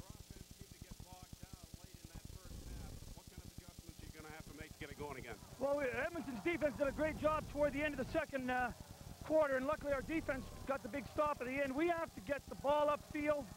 We have to be able to establish an outside run game. And uh, we're going to pound Sean Daniels again in the middle and make them stop that, and we've got to get outside and we've got to get upfield. Jim, thank good luck the second half. Sounds like Jim Daley wants them to get back to what we saw in the first drive or two. Well, you want to get them outside to stretch the defense. Right now, everything's coming up between the tackles. They want to get outside, get Saunders outside, stretch that defense, open up the holes for Daniels if he wants to do an up the gut play, and then it allows Reggie Slack to do a little bootleg, a little rollout, gives the opportunity not only to throw the ball, but to run with the football. Well, let's check the Canadian Tire stats at the half. Uh, those two turnovers, as I mentioned, uh, could be 10 points. Well, it could be 10 points, but give Saskatchewan credit. They had the big goal line stand, and that's what I think is a key play so far. They're even in first downs, yard passing pretty even, 61 yards rushing by Saskatchewan. I think that was most of it in the first quarter. I think they're going to try, as Daley said, to start real establishing that in the, in the second half here. During the regular season, these two teams almost dead even statistically in their head-to-head -head battles. Second half underway. Shannon Baker trying to find some room up the sideline, drilled out of bounds at the Eskimo bench. So Saskatchewan gets their hands on the football first to start this third quarter. Let's join Mark. Danny Barrett, uh, you had a chance to look at this first half. Uh, what do you think happened to the Saskatchewan offense when it went dormant late in the half? Well, I think they started to throw the ball too much on first down. They needed to stick with their run game and reestablish the line of scrimmage. So hopefully they'll be able to do that here in the third quarter. All right, we'll see if that turns out. Chris? These two teams battling for a chance to play here next week against the defending Grey Cup champion Toronto Argonauts. Slack, quick hitter, and that's complete to Winans. Short gain at the 45, gain of five. Nice tackle by Frank. Good coverage by Malcolm Frank. And we talked about him earlier in the broadcast. You don't really hear a lot about Malcolm Frank. They, they feel he is an all-star and all-Canadian. But the fact is that nobody really goes after him. So you don't really hear about it, and therefore he's not recognized.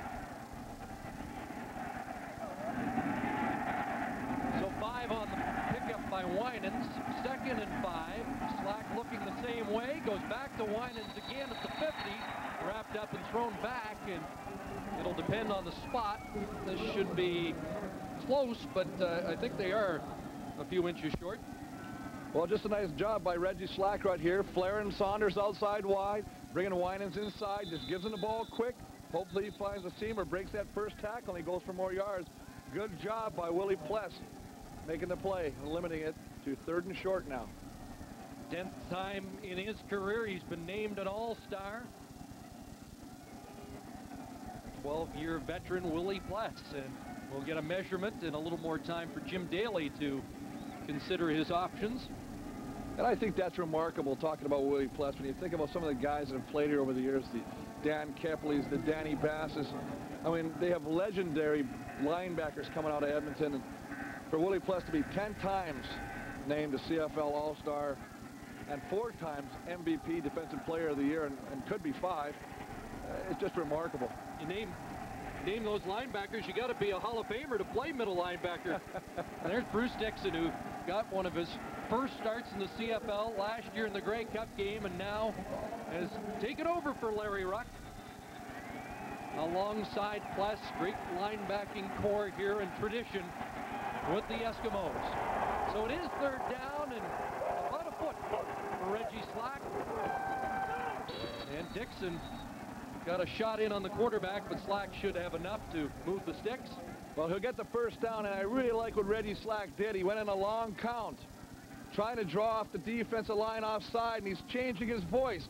He's bobbing. Watch his head here as he's snapping the snap count. He's just trying to get the Edmonton defensive line to jump. They hold.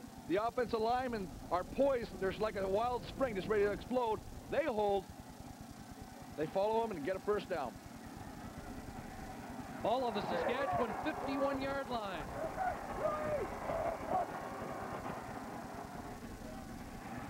Slack rolling right and in trouble, and down he goes. Buried back at the 45.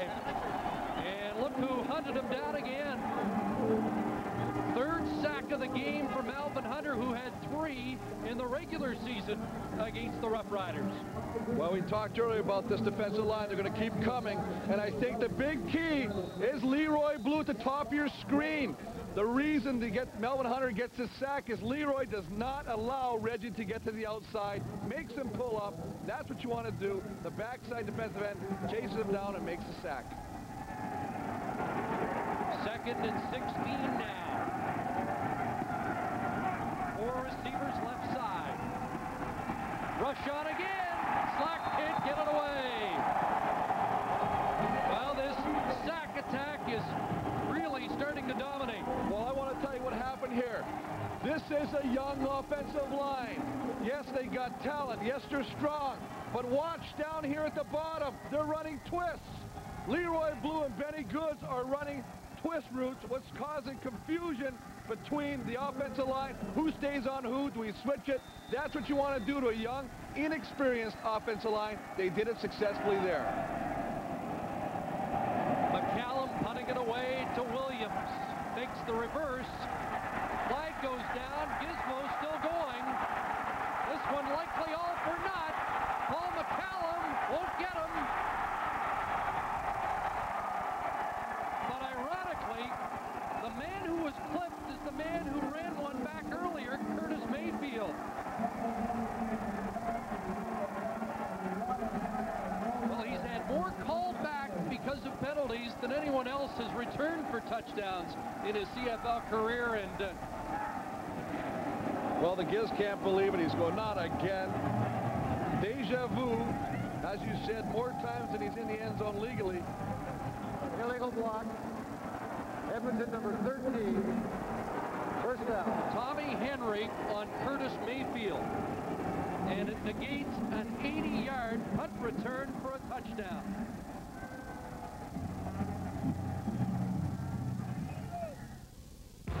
As Canada's auto parts store, Canadian Tire offers you even more. Like our Loan a Tool program. If you need an auto tool, just come to our auto parts counter, choose from a selection of specialized tools, and we'll loan you one at no charge. And it doesn't end there. Because right now you can bring in your battery, alternator, or starter to any Canadian Tire auto parts counter, and we'll give it a free electrical test to ensure everything is in working order. Canadian Tire, Canada's auto parts store, made You've never driven it. You've never seen it. You're about to choose a car strictly from data. The stuff of instruments, gauges, stopwatches. Fortunately, that car is the all-new Mazda 626. The all-new Mazda 626. Retooled, refined, reborn. That was a complete disgrace out there. To me, to you, to everybody who's ever worn this damn uniform. This is a 60-minute war. We want to see 110%. If you can't give me that, you won't be going. Refuse to lose. You guys are the conference champions. Play like winners, damn it! You could win a trip to the Super Bowl. Look inside cases of or call this number for no purchase entry. Well, Gizmo's still getting over it. The 80-yard punt return for a touchdown called back on this clip. Boy, you can see right here, Tommy Henry just gets the hands and the helmet on the backside of Mayfield, pushes him in there. And the bad thing is, here's here's Henry to Giz Williams going, oh, not again. You got to be kidding me. From the 20, Danny McManus gets it outside quickly to Don Blair, and Blair has a first down up to the 35, 15-yard pickup. His third catch of the game. And one of the things I like about a veteran club such as Edmonton is, is they never get down. You mentioned this earlier when Saskatchewan had the big lead. They just keep plugging and plugging and plugging away. We saw it against on Thanksgiving against Calgary. They're never out of the game until the final whistle goes, and I like Danny McManus as that kind of quarterback. Boy, Gizmo about to explode down there. Can't wait for another chance to get his hands on the ball. Shotgun looked like the Eskimos jumped offside. McManus wide open, far side of the field is Flutie. How'd he get so open? And Patrick Burke wrestles him out at the 42 of Saskatchewan. But there was some early movement there. Looked like Tony Burse jumped the gun. Well, you're quite correct. Eagle Eyes Chris Cuthbert up here. But on the other side, Procedure, Edmonton number 34, repeat first down. And you want to know how it got so wide open? They're doing the same thing they did on this side of the field. All they're doing is bringing the wide receiver, Eddie Brown, inside and sliding Darren Flutie to the outside. The defensive backs are not communicating, not switching. As a result, one comes free, and it would have been a big gain by Flutie. Negates a 32-yard Flutie catch. Here's how McManus has mixed it up so far today. Well, the big catch by Eddie Brown for the touchdown. First and 15. And there's a catch. Robert Court, for the second time today, takes a jolt after the reception. And Danny Mac does a nice job of throwing his ball right on the right on the money. It's right on a rope. It goes right to Gordon. Gordon goes up to get it. But I'm still wondering, a lot of times on these receptions, there's other receivers really in the same proximity as you can see Eddie Brown going right there, and I don't think that's what you want as a receiving core. So second and four for the Eskimos. At the Edmonton 41, out of the backfield, Tony Burse. And he's a tough guy to bring down. Burse will have the first down. The big fullback gets six and moves the sticks. Well, that's what you want to do. Give the big man the ball in the open field. And you can see Eric Sutton. He's just kind of pitter-pattering. He's waiting. He's saying, oh, God, oh, God, oh, God, here he comes. 236 pounds. John McMillan misses him here, and you can see, oh, boy, here we got to go. And Sutton, 178.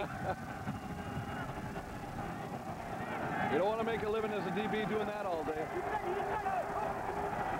First down. Now Blount. And Blount straight up the middle. Some positive yards there for the Eskimos who haven't had many on the ground today. No, they haven't, but this is what they've got to do. If they want to open that inside passing game up and not run the same routes all the time and get Flutie and Gordon the ball, they've got to get those linebackers not to get as much depth, and this is how you do it by handing the ball up there, and you can see Blount in the offensive line coming off, and getting some positive yards. Nine yards rushing today for Edmonton, last in the league. It's hard to believe with the Eskimo tradition on the ground. Last in the league running the football this season. McManus short drop, and there's Gordon. And they're into Saskatchewan territory, and Gordon doesn't want to go down. Well, this is what a veteran quarterback like McManus will give you. He recognizes what Saskatchewan's doing. They're playing a zone. He's just hitting them. Gordon goes down five, six, seven yards, finds an opening, bam, gets hit with the ball, either gets positive first yard or he gets more after the catch and gets a first down as he did in that play. Well, now it's Saskatchewan's offense watching as Edmonton starts to dominate the time of possession. First down, McManus, a lot of time, looking deep, looking for Eddie Brown, and it falls incomplete. Patrick Burke in coverage. Well, that's got to make you feel better because I think he's going, no, don't come my way again. The first two, he got hit for a pass interference and a touchdown. This time, he does a good job running stride for stride with Eddie Brown, who is not the easiest man to watch in this league. In case you've just joined us, Vincent Donaldson down in the first half with a knee injury, and now Burke into the game to try and collar Eddie Brown. So it's second and 10 for the Eskimos.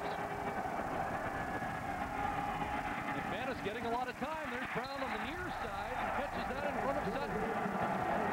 13 yards, and the Eskimos drive still alive midway through the third quarter. Well, he knows where to go. He goes to Flutie, he goes to Gordon. He's going to the inside guys this time. Eddie Brown just comes out, comes back in, hooks inside, just enough for a first down. Quick pitch and strike, gets the catch, tackle immediately, but gets a first down.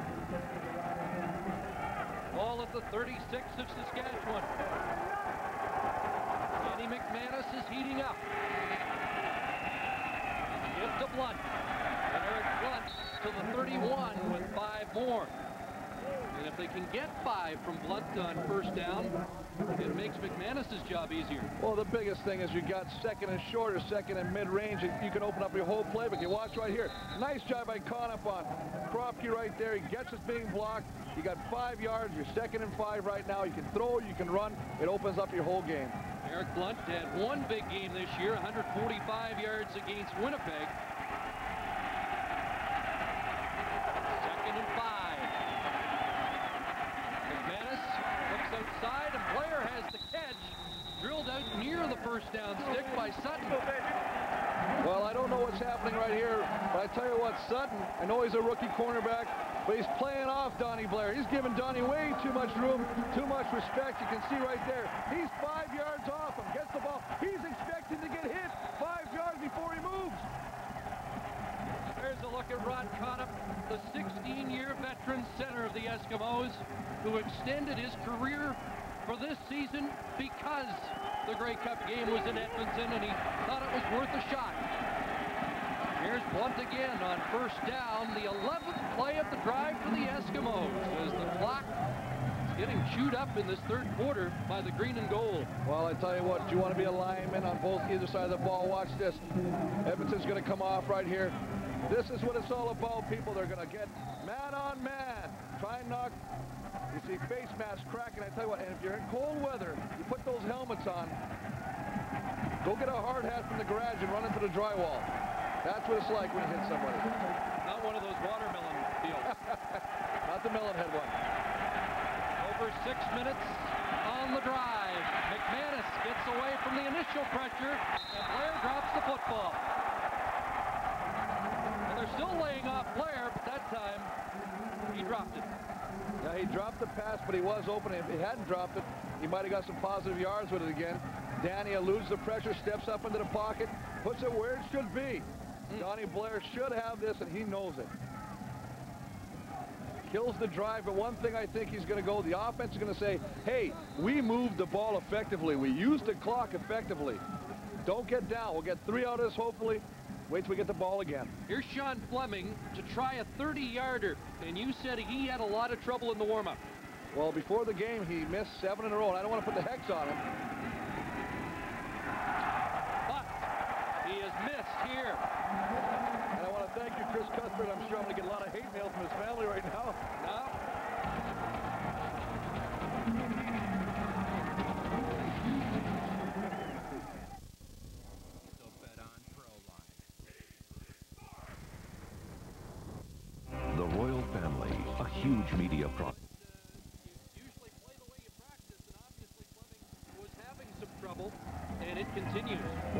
after he kicks it, his head goes right down. He's not happy.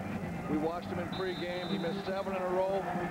He shook it out there. He's trying to work it through. It's all mechanics. They'll tell you it's all mechanics, kind of like swinging a golf club. And he's just got to correct it right now because they might need him again. And remember earlier today, Terry Baker 0 for 3. And Vanderjagt didn't miss. And Montreal's lost to Toronto in the Eastern final. Saunders battling for yards on that carry.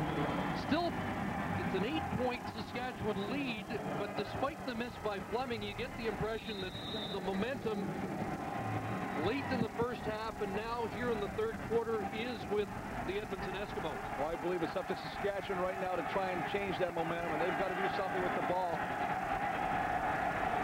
Slack goes to the shotgun on second and eight. This time he has good protection, but throws incomplete. Looking for Shannon Baker. That's the first pass thrown in his direction today. Well, he does not look as good throwing the football on this play as he did. He started off like hot as a firecracker in the first quarter, and you can see he's got nice time, nice protection from the O-line, but he just skips it to Shannon Baker. And I think what he's going to tell Shannon is, I want Shannon, please, come back to the football. Benson Donaldson now is a spectator. And the other person there, Darnell Small, the linebacker's not dressed. Rushan McCallum is hit, and a flag goes down. Gizmo dropped the football. And Giz, are you going to return another one that won't count? Unbelievable. McCallum with the tackle, but it didn't matter anyway. I don't think Giz wants to look up and see this flag right now. I think that might have been the distraction as he got to McCallum, he saw the flag and said, oh, gee. Contacting the kicker. Edmonton number 38. First down. Errol Martin with the hit on. Well, they're going for the block. They're just going to come up to see him and go for the blitz. You see Jed Roberts, after he's kicked the ball, you can't touch him. Now, I know kickers are somewhat of actors. There are a lot of them who go into Shakespearean plays after they finish their career, and that's what you got to do, though. We tell him Troy Westwood. Uh, oh, he's, a, he's an actor. He's an actor, I'm telling you right now. I won't lie about that. But in all honesty, I mean, we make a joke about this, but Saskatchewan's going to have to improve their coverage teams. They cannot rely on penalties to stop the Giz. Tell you what, that was a heck of a tackle by Callum. First down on the penalty, and Reggie Slack goes to work looking for Farthing, and he hasn't looked in that direction very often today. Incomplete. Well, I'll tell you what I'm a little surprised about, Chris, and that is we have not seen the big play man, and that is Curtis Mayfield this half. They have not gone to him yet. They haven't gone to Donald Narcisse this half. It's almost like he's trying to spread the wealth, go to people that he hasn't gone to earlier in the game. And I know you want to get him involved, but if you got something that's working, don't fix it or don't, you know, don't correct it. Stay with it. Slack only one for four in the second half. Second and 10 from the Saskatchewan 47. Better protection, and that one behind Farthing incomplete. Glenn Rogers Jr. there defensively for the Eskimos. Well, they're coming up. They're going to get in Danny's face. They're going to try and get at him right now. You can see him right here. Here's Malvin Hunter at the bottom. They're bringing guys on twist. Leroy Blugh is in there.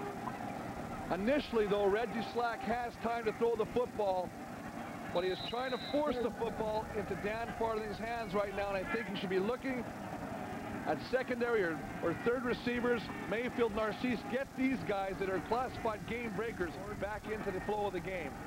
Don Blair with Robert Gordon back, and Williams sits it out. And it'll be Gordon from his 27. Robert Gordon trying to get outside, but can't do it. Todd McMillan with the tackle after a 36-yard punt.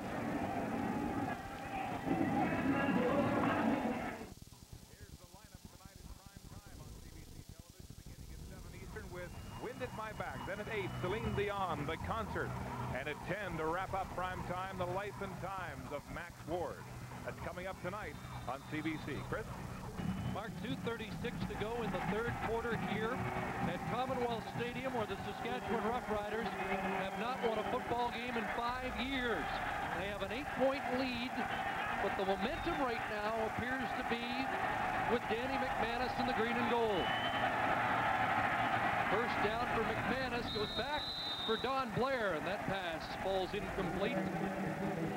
They're going to try and do it. They've gone three times in a row to Donnie Blair because of the very fact that Eric Sutton is playing off him so much, giving him room. They're always going to be guaranteed at least 10, 11 yards on a first down, keep the, keep the momentum and keep the football. But I'd watch for Sutton to see if he's baiting him later in the game and try and break on one of these footballs.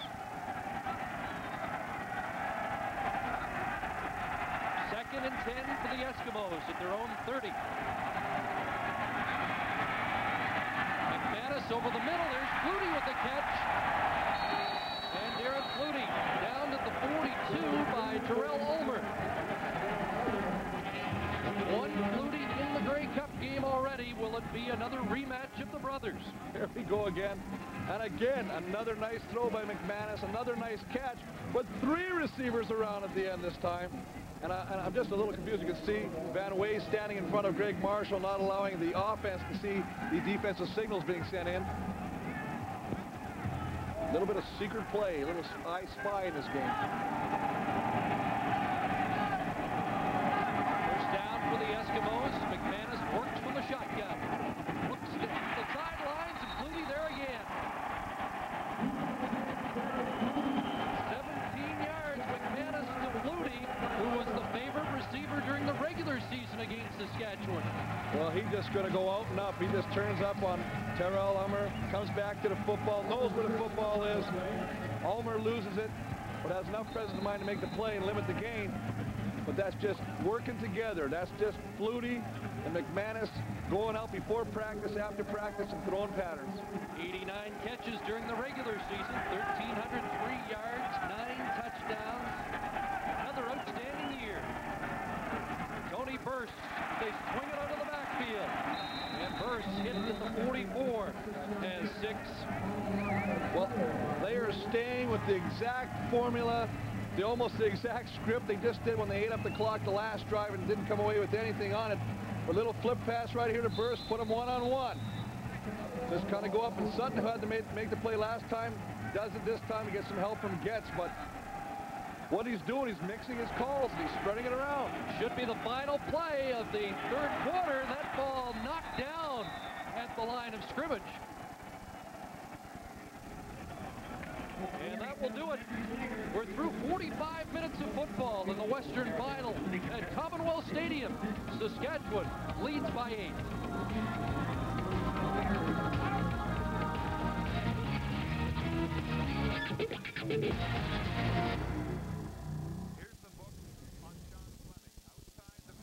line, Danny Barrett. He is good in only one of three attempts this year. What do you think of this this one here? Was an interesting call here to go for the field goal now outside the 50, considering he's one of three. So we'll see what happens here. This, it also sets up a position for Saskatchewan to get the ball in good field position going into the fourth quarter. And considering Fleming Shank earlier from well within his range, consider this stat as the game moves on and kickers become all that more important. Outside of the 30-yard line, Fleming has missed 30% of his field goal attempts. Chris? Well, Mark, it's third down and four, and uh, the little general on the sidelines has been known to, uh, well, he could use a fake in this situation, couldn't he? Let's see if Fleming's kicking away. He is. Plenty of boot into it, but he misses again. And Mayfield, after a little hesitation, runs it out. And Mayfield will step out at the 19-yard line. Well, a lot of people would have said, why doesn't he just give up the point and take the ball on the 51-yard line? But they don't want to give up that single point. They want to keep that eight-point margin. At least if you get a touchdown, you got to go for two points to tie the game. See the stats right here. The big thing, net yards 198 for Saskatchewan. They had great yards the first half. Edmonton, the last two drives, has just been eating the clock and gaining more yards. But unfortunately, the last two field goal tries have only come up with a one point. Chris, net yardage for Saskatchewan, though, in the third quarter, zero. 13 yards, and then 13 yards in losses. So it's for Reggie Slack in the Saskatchewan offense, but here's Mike Saunders with a hole, and Saunders gets outside and is out of bounds near the 39-yard line, and they needed that, the 20-yard Saunders pickup, and that's a name we haven't called much in the second. No, we haven't. Get your big boys back in the game. These are the guys who are going to take you to the cup. You got the offensive line does a nice job. You got Winans downfield making a nice block on the DB, but you want to put the ball in Saunders' hands, not only receiving but running it, and it also gives your offensive line some life. They want to get back in the game. They want to start knocking heads and get out just doing pass sets. 14 minutes from a berth in the Grey Cup game for one of these two teams. Slack, Hunter, ball down. Rough Riders get back on it, but Malvin Hunter has his fourth sack of the afternoon. Well, I tell you what, if you're going to run a little bootleg away, you better put somebody backside on your blind side. They don't. Now this play, if you're going to go out there, you better get rid of the ball. He doesn't. As a result, Malvin Hunter comes, blindside shot, kill shot. Reggie Slack drops the football, but thank goodness for Saskatchewan fans, John Terry is there to recover it. Six for the Eskimos today. That's 20 now in four games against the Riders this season. Second down, Slack. Saunders can't bring it in. Malcolm Frank there in coverage. Saunders was in behind. Frank recovered. Well, let's give Mike Saunders some credit here. He had to twist his body in all kinds of shapes and ways to try and attempt to catch this football. Yes, it hits him in the hand, but he's going backwards, and he does have coverage by Malcolm Frank. But again, Saskatchewan has to punt, and they need to start using the clock, especially in the fourth quarter. They've got to get some positive offensive production. McCallum kicks it away, and Don Blair at the Eskimo 50, and he's drilled right there. And I think one of the things that's happened, Chris, is the fact that Edmonton has had good field position all going in the second half. Saskatchewan hasn't.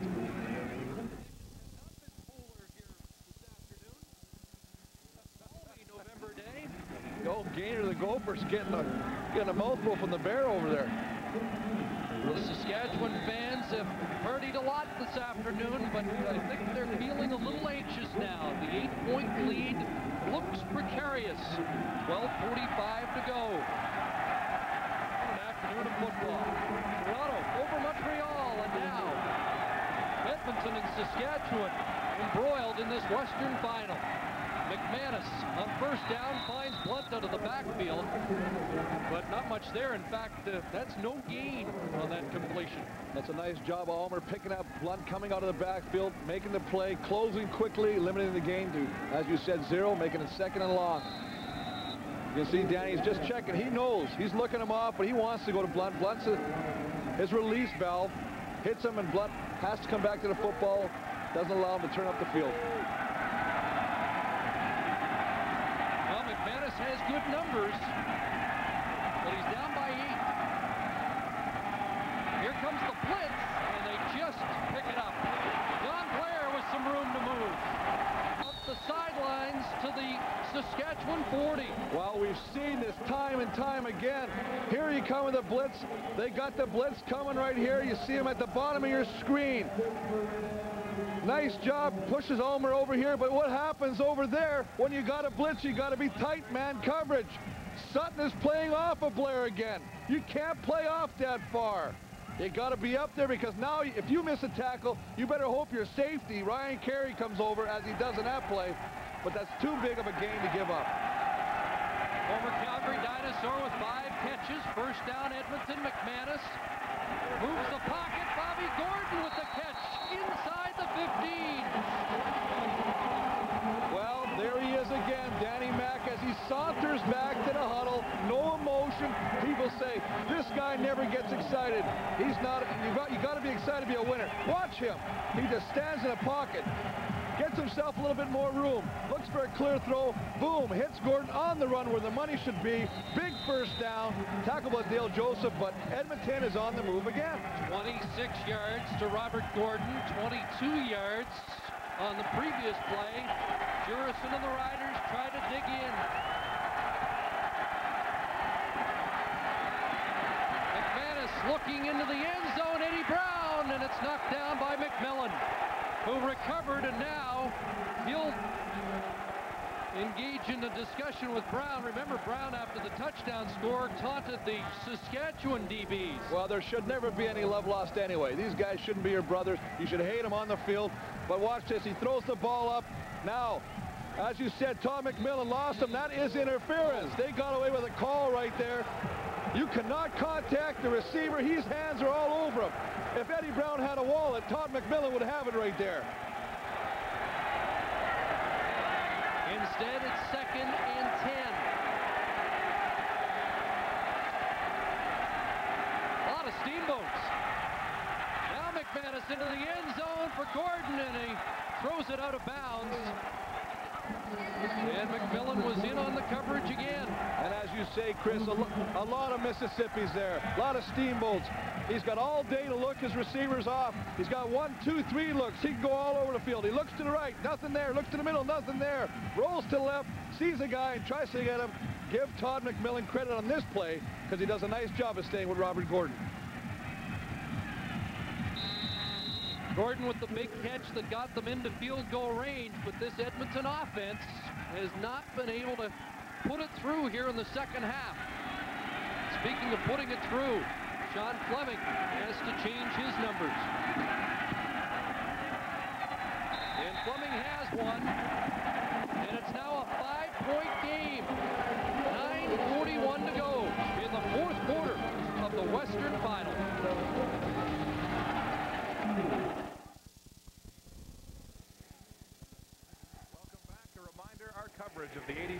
Cup Championship from Edmonton begins next Sunday at 5 Eastern. That, of course, follows Grey Cup Saturday. An hour pregame show and the Grey Cup Parade. Should be a fantastic weekend here in Edmonton. The Argos home and cooled out and waiting to see who will it be, Saskatchewan or Edmonton from the West. Chris? And our confrere, Chris Walby, played in the 1984 Grey Cup game here at Commonwealth Stadium. Gain of one for Mike Saunders. And that was a party. That was a celebration. The old days of Tommy Clements, Dieter Brock. But this is a present. And this is Saunders, as you can see. Bennie Goods stuff on the offensive line, which causes Mike Saunders to reroute where he wants to go and limits that gain. One-yard offense in the second half. They made it look so easy in the opening two drives of the game. But they've hit a wall. Second down, over the middle, incomplete. Say, Chris, yes, they only have one yard. And what's that happen? What has happened as a result? It's Edmonton has made adjustments. They've made the right things to do. Willie Pless again with another play. Watch this. Drops back, running along, sees the receiver, comes right in there, doesn't allow the receiver to come back and turn his body fully to catch the football. Five possessions for Saskatchewan in the second half, and five times Paul McCallum has had to come on and punt the football away. Gizmo back in the game. And this one just bounces out at the Saskatchewan bench at the 45. 8.40 to go.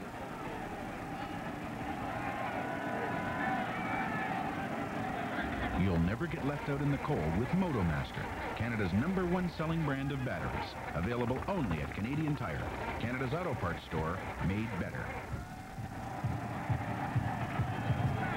Wheels are turning on either side, 8.40 left. You've been in this position, five points. Both teams that close to a Grey Cup appearance.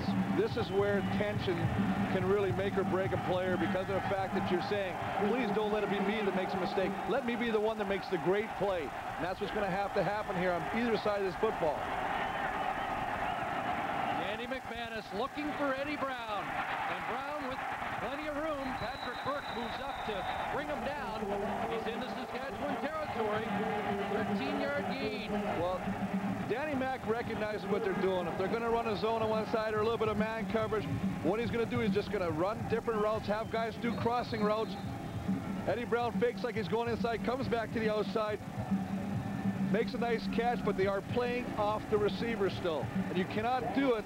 Don't play conservative at this time of the year, this time of the game. You can just tell that Eddie Brown wants the football.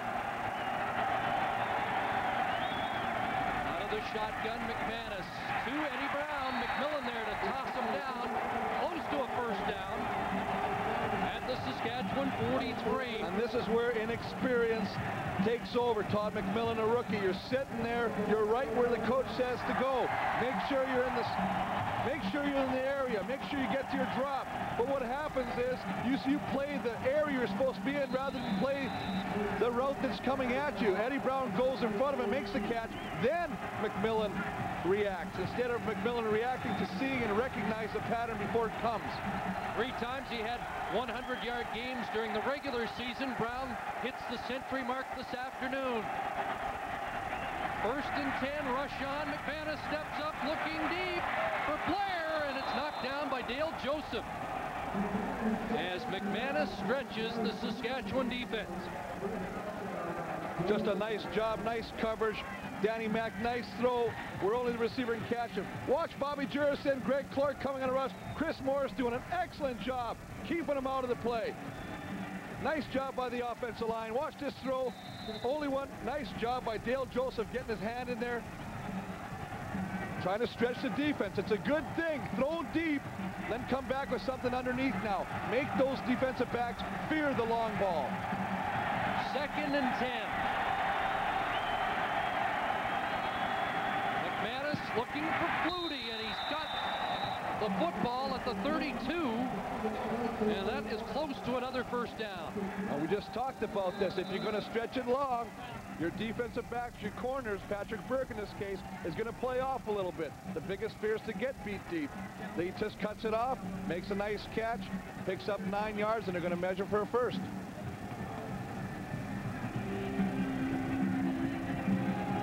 Darren Flutie has been bothered by a tender hamstring throughout this season, and you saw him stretching out after the catch, and it'll be that close.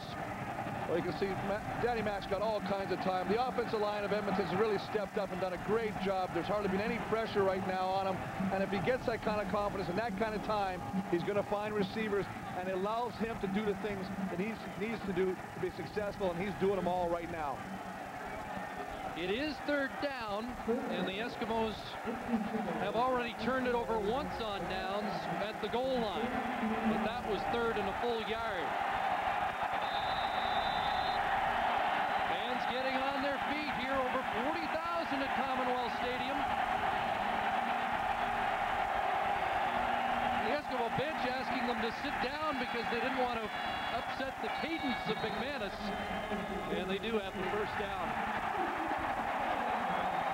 Well, six minutes left in the game. The drive continues. They've just eaten the clock up. They have not allowed Saskatchewan to get anything done offensively this whole second half, and they, um, in turn, have taken the ball, not come away with a whole lot of points, but eaten the clock and found success with certain plays. First rushing first down of the game for the Eskimos. What a warrior Bobby Jurasin is. Here's McManus over the middle, almost picked by Greg Clark off the shoulder pad, and it falls incomplete. Well, we've seen Greg Clark. We've talked about all the linebackers, the depth they get. Earlier, Gary Rogers should have had interception. This time, Greg Clark saying, God, I should have had that one. Goes right in his hands, right off his shoulder pads, looking for the ball. You see right there, he misses it. We're going to have to make him do some drills after some ball catching drills, but he's just happy it didn't allow a completion. Second and 10 from the Saskatchewan 31. McManus, Brown, and Eddie Brown cutting back, lost some yards, and not going to get to the first down stick. Eight on the gain for Brown, and now it's third and two. Well, they got to go. They're going to have to go for a field goal here. And as you said, Eddie Brown tried to make something happen there. He tried to get to the outside. As a result, he lost yardage. Sean Fleming walked onto the field. 4.49 to play. And a five-point differential, so this will get them inside a field goal if Fleming is good.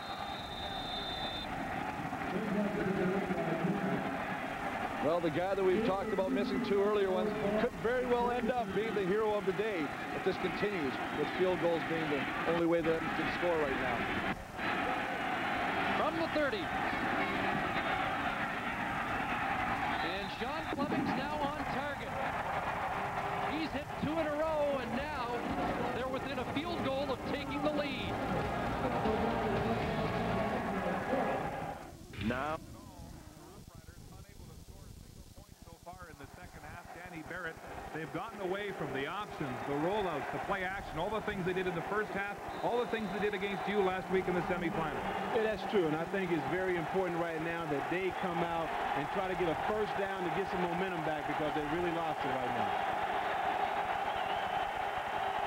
First down, pumped by Slack, looking deep for Narcisse, And it's out of bounds, incomplete. Davis Reed.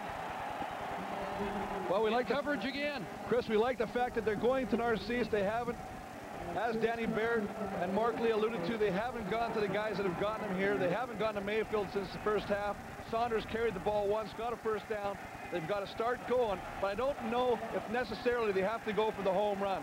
I think what you should do is use the clock for Saskatchewan now, pick up first downs rather than trying to get it all back in one chunk. I was going to kid Danny Barrett. Maybe they should call that play to Pee Wee Smith. And in fact, Reggie Slack did go to the home run ball. He's missed on his last six attempts. Second and 10. Looking downfield again. And Narcy or Mayfield, what a catch. Boy, Saunders and Mayfield in the same neighborhood. We talked about this. You got to go to who's hot. Last week, Curtis Mayfield had a great game. He started off just where he left off against the Eskimos today, having a great day. Now they go back to the money man. This is what you got to do.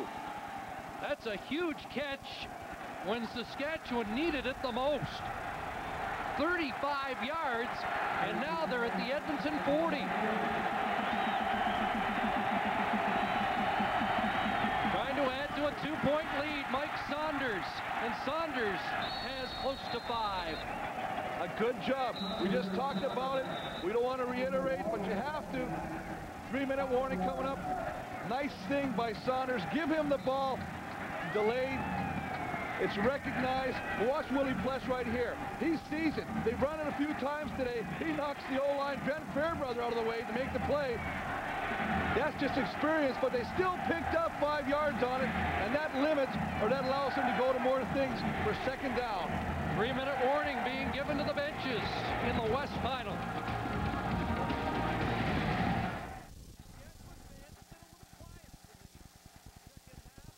But they've come to life here now. Their team clinging to a two-point lead, but Reggie Slack with the completion of Mayfield has it in field goal range for Paul McCallum, but they'd like to bite off a little bit more. Quarterback keeper, and Slack's going to be short. It's going to be close, though. It's going to be close. But a good call. They, they were hoping to get a big rush that Edmonton was going to bring everybody in the kitchen sink against Reggie, and he'd find his seam and be able to exploit that, much as he did last week against Calgary. But this time, they closed it quick.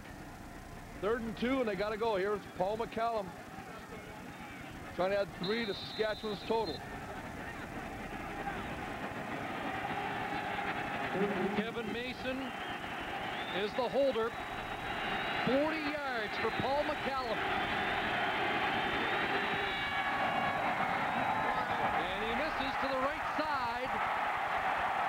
And Gizmo's coming out. And Gizmo won't get beyond the 10, so it's still a two-point lead. Well, we've got a quarterback with us, Danny Barrett. Uh, let's analyze Reggie Slack's last play call. Well, basically, um, I think Reggie did a good job there, but it's the only formation they run the quarterback draw out of. And I'm sure Edmonton scouted that play.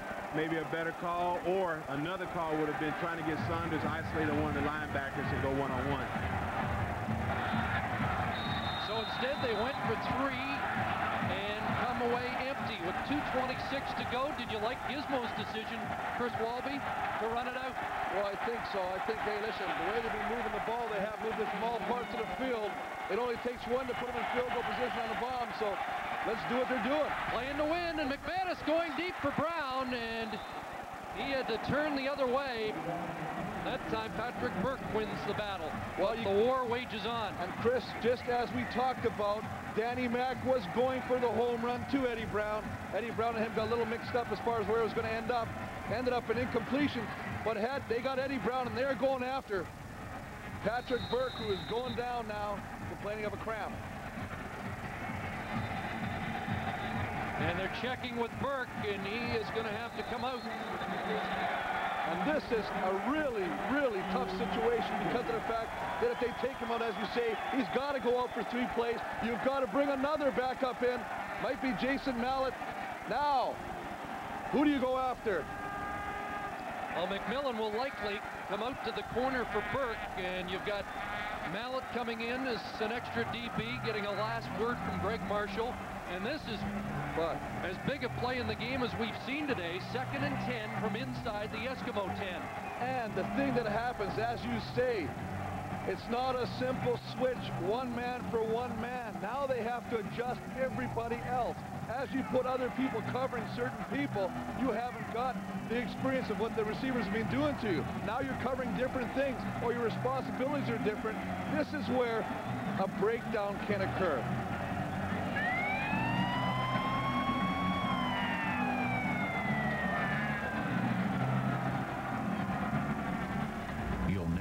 out in the cold with MotoMaster, Canada's number one selling brand of batteries. Available only at Canadian Tire, Canada's auto parts store, made better.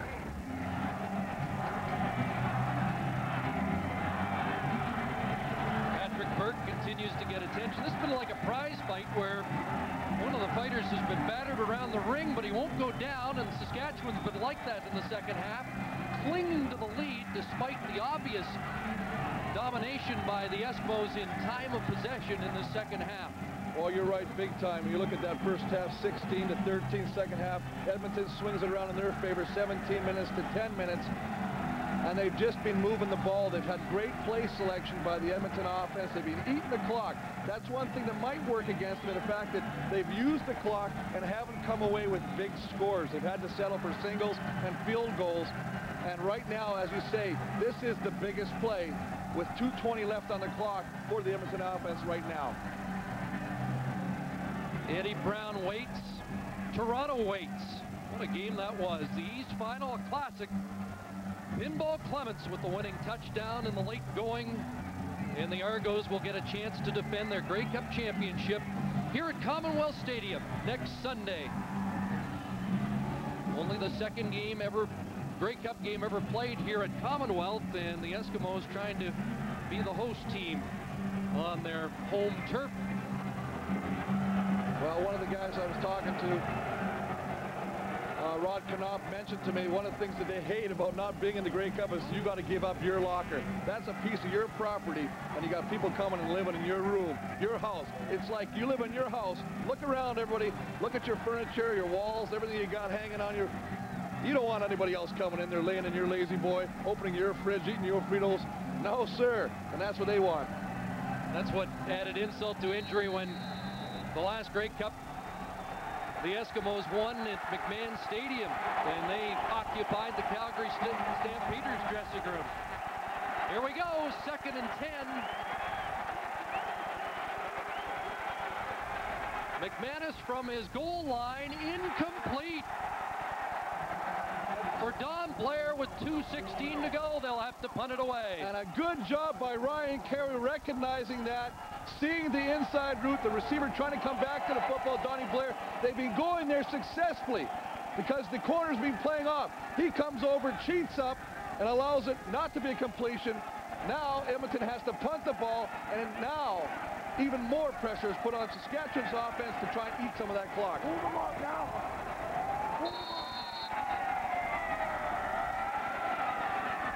Fleming from his own end zone. Shannon Baker. And Baker chased out at the 54. 2.07 remaining. Fourth quarter, a 44-yard punt. And I don't agree with Baker what he just did there. You've got the lead. I know you're not going to need a lot of time off, but don't run out of bounds.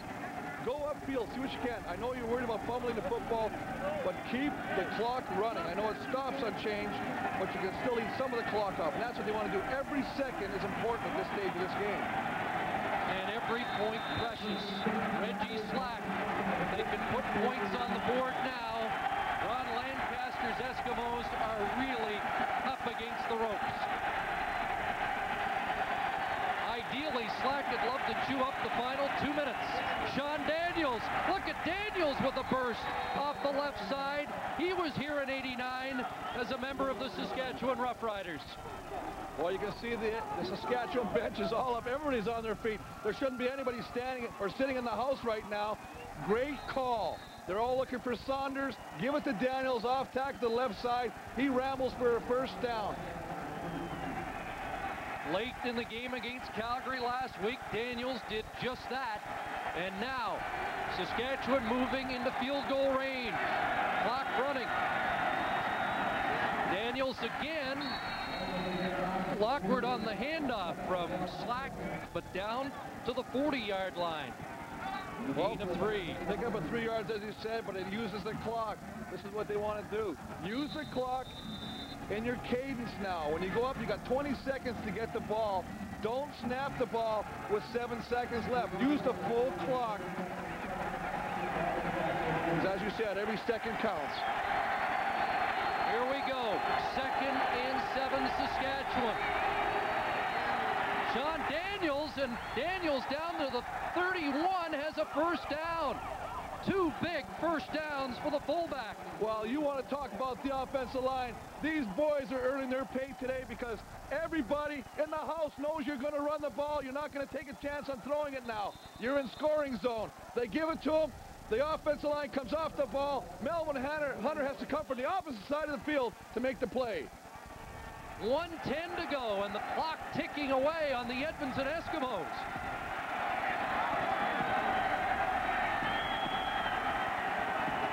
First down, Slack, keeper, and Slack down to the 26, and a penalty on the play. Looks like it could be a face mask against the Eskimos, the least penalized team during the regular season. And remember today, they've had a punt return Major called foul. back. Face mask.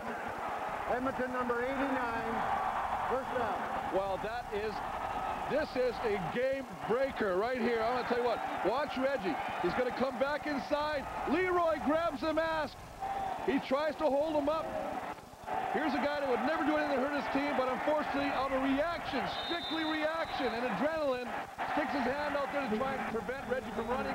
Takes a 15-yarder, first down for Saskatchewan with 55 picks left.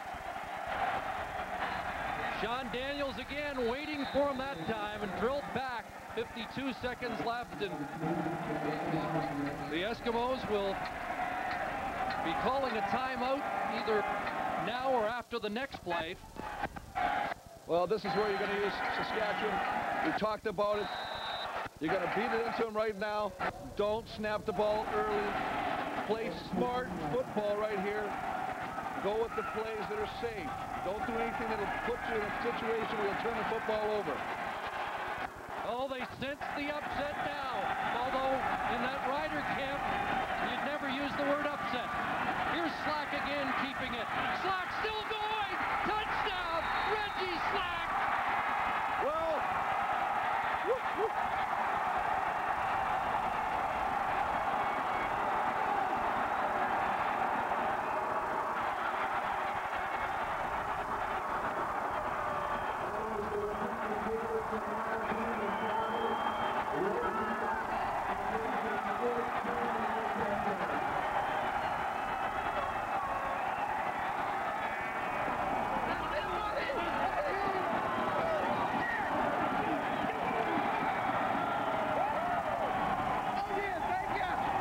Well, from Yorkton to Swift Current and CFL fans coast to coast that wear Rider Pride are wearing it right now.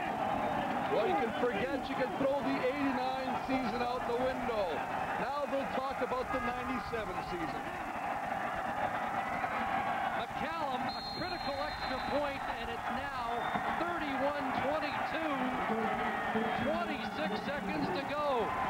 And a dormant offense for most of the second half awoke just in time to put it away. You've got 54 seconds left of the clock against Calgary. What does Reggie Slack do? He runs the option, keeps it himself, scores a touchdown. You got 28 seconds or 29 seconds left on the clock today. What does Reggie Slack do? What a surprise. Runs the option, keeps the ball, through effort of his own, scores the touchdown. His second major score of the game. And he does this on his own. This is great. Watch this. Watch this stretch right here. I'm not going to be denied. He smells it. Watch the bench here. They are hugging. There's a whole lot of room here. There, there's excitement here. They almost a look of disbelief. It's happening. A lot of guys with some extremely good verticals. the weight of trying to win one to get a chance to play on your home field in the Grey Cup game. It's been one the Eskimos have handled most of the year, but today it's become too much.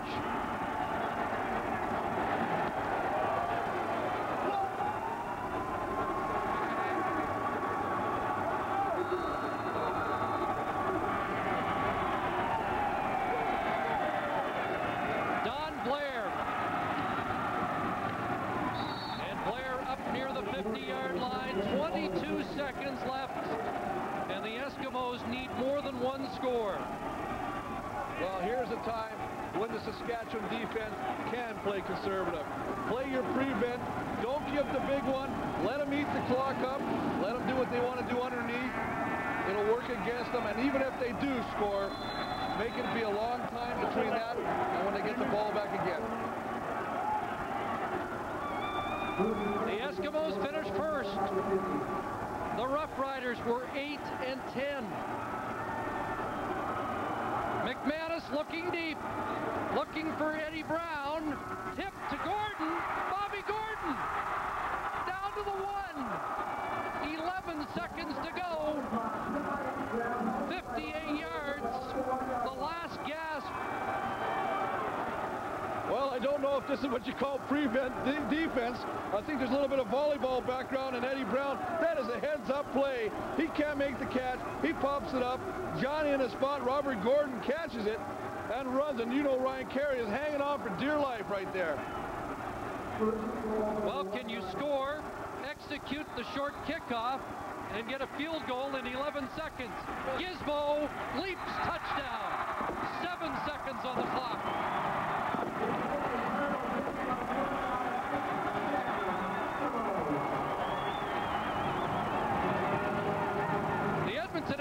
Eskimos own the football in the second half, but they weren't able to put it in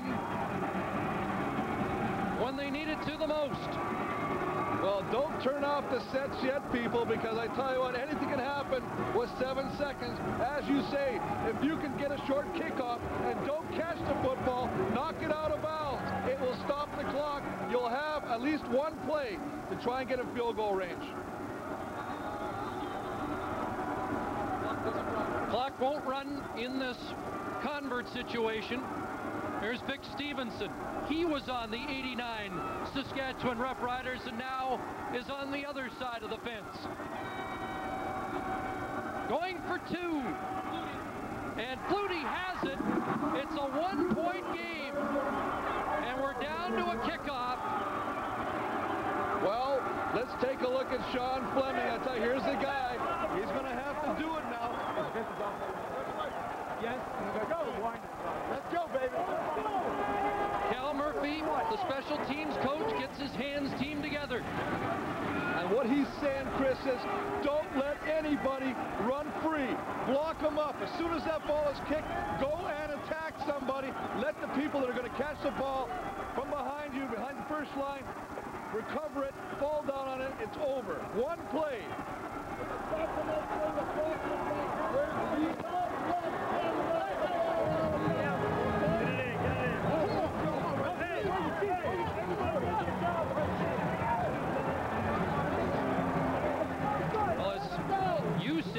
Knocking it out of bounds, clock won't run, and Cal Murphy telling his team not to let them do that. So it's down to this for Ron Lancaster. This would be the miracle of all comebacks.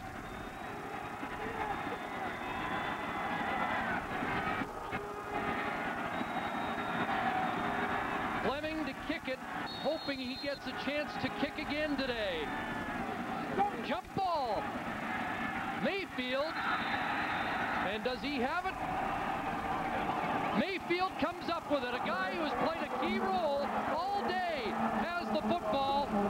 A punt return for a touchdown, a critical catch late in the fourth quarter, and now he has cinched it for Saskatchewan. Well, here's a guy who's done it every way. If they asked to line up a defensive end, that'd be the only way he, other way he can contribute to this team, but he does it on special teams, punt return, receiving, key receptions, and here probably the most important game of the year for the Saskatchewan, or most important play of the year for the Saskatchewan Roughriders. Takes the onside kick, and now they just have to down the football, and as they say, they're going to the Grey Cup. Battered and bruised. There's Rod Connop that played one more year for a chance to play next week at home. And he'll have to sit in the stands and watch. It's big city against big country in the 1997 Grey Cup game as the Saskatchewan Roughriders get set to run it out. And I remember being in a situation, there's nothing nicer.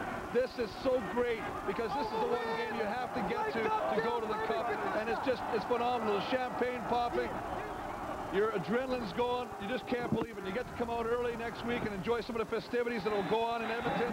Congratulate. What a great game. And the spirit of 89 continues to live on for the Saskatchewan Roughriders.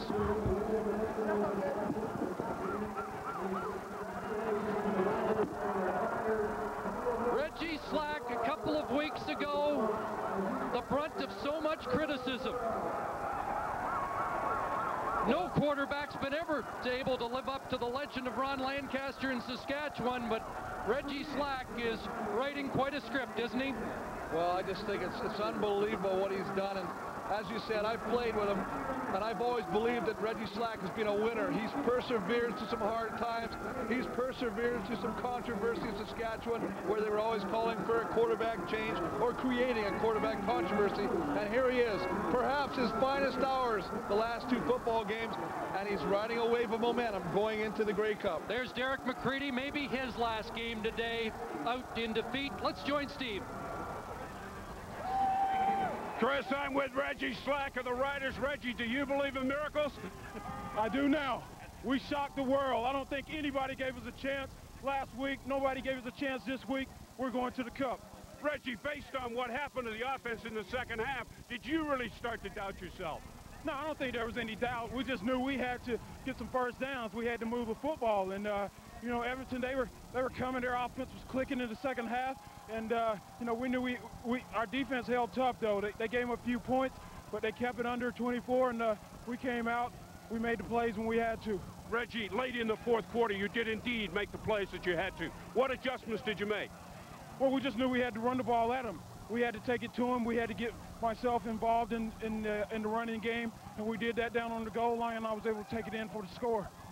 A couple of touchdowns, big touchdowns last week you really got it going when you had to.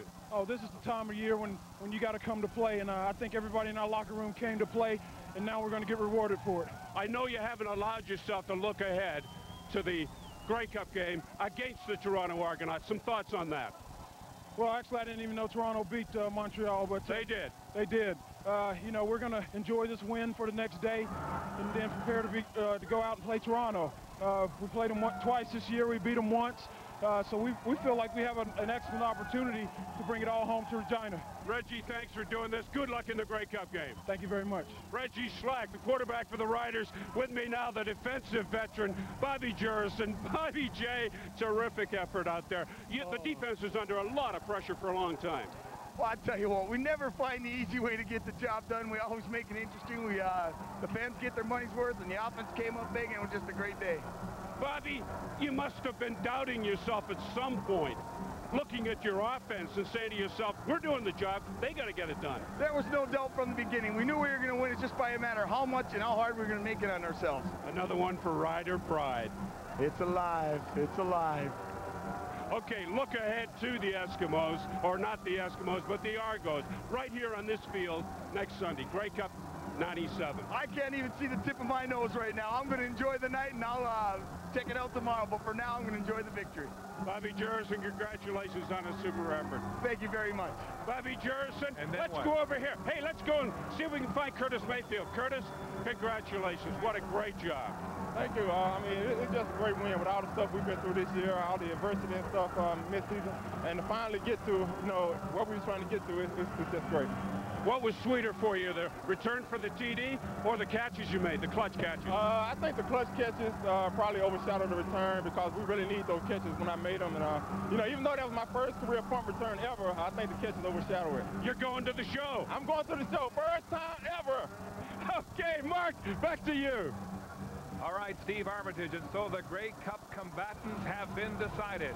It'll be the Toronto Argonauts versus the Saskatchewan Roughriders in the 85th CFL title game next Sunday here in Edmonton. Do the Riders believe in destiny? The remake of the 89 Cinderella season continues. We're back right after this.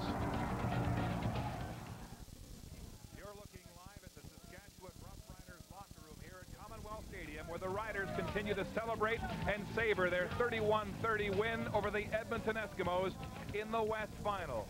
And the thousands of Saskatchewan fans who've traveled here still lingering, still enjoying the moment. Let's go down to the field now where Steve Armitage is standing by with Saskatchewan head coach Jim Daley. Thank you very much, Mark. For the second week in a row, you have stunned the experts, sir.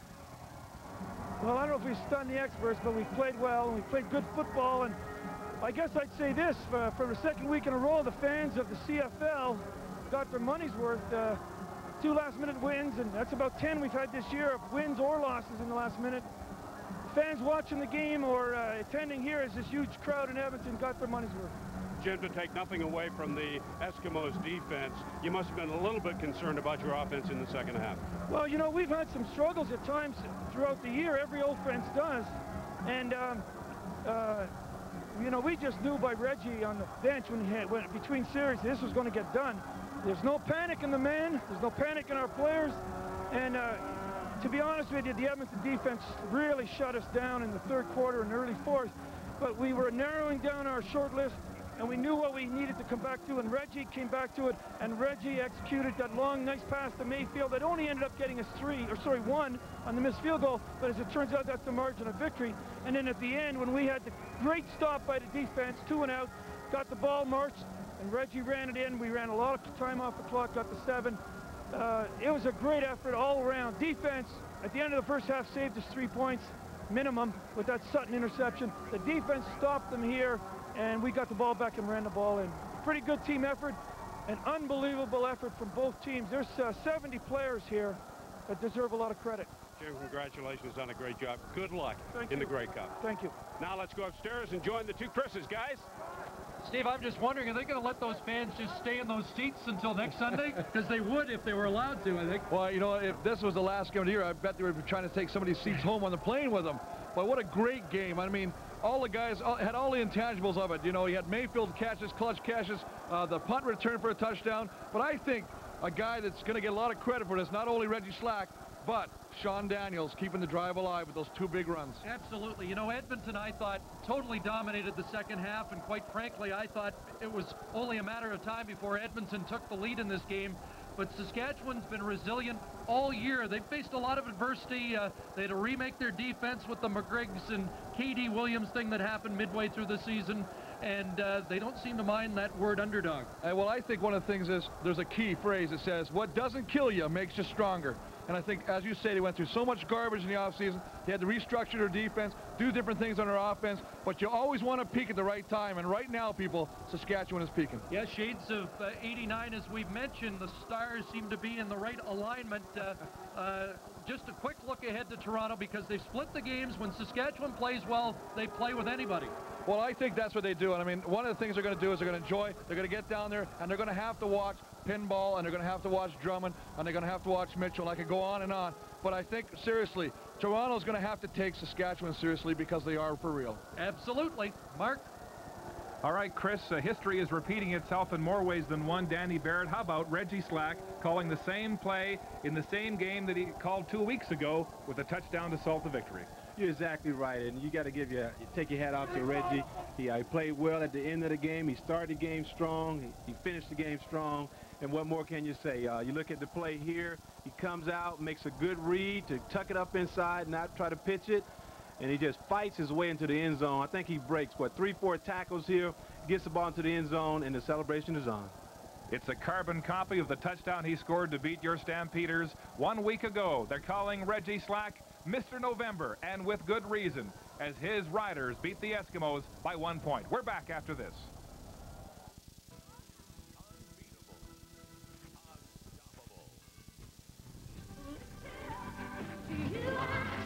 one woman in concert. A two-hour special.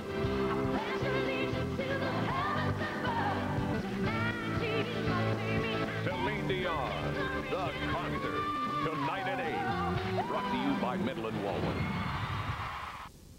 Well, um,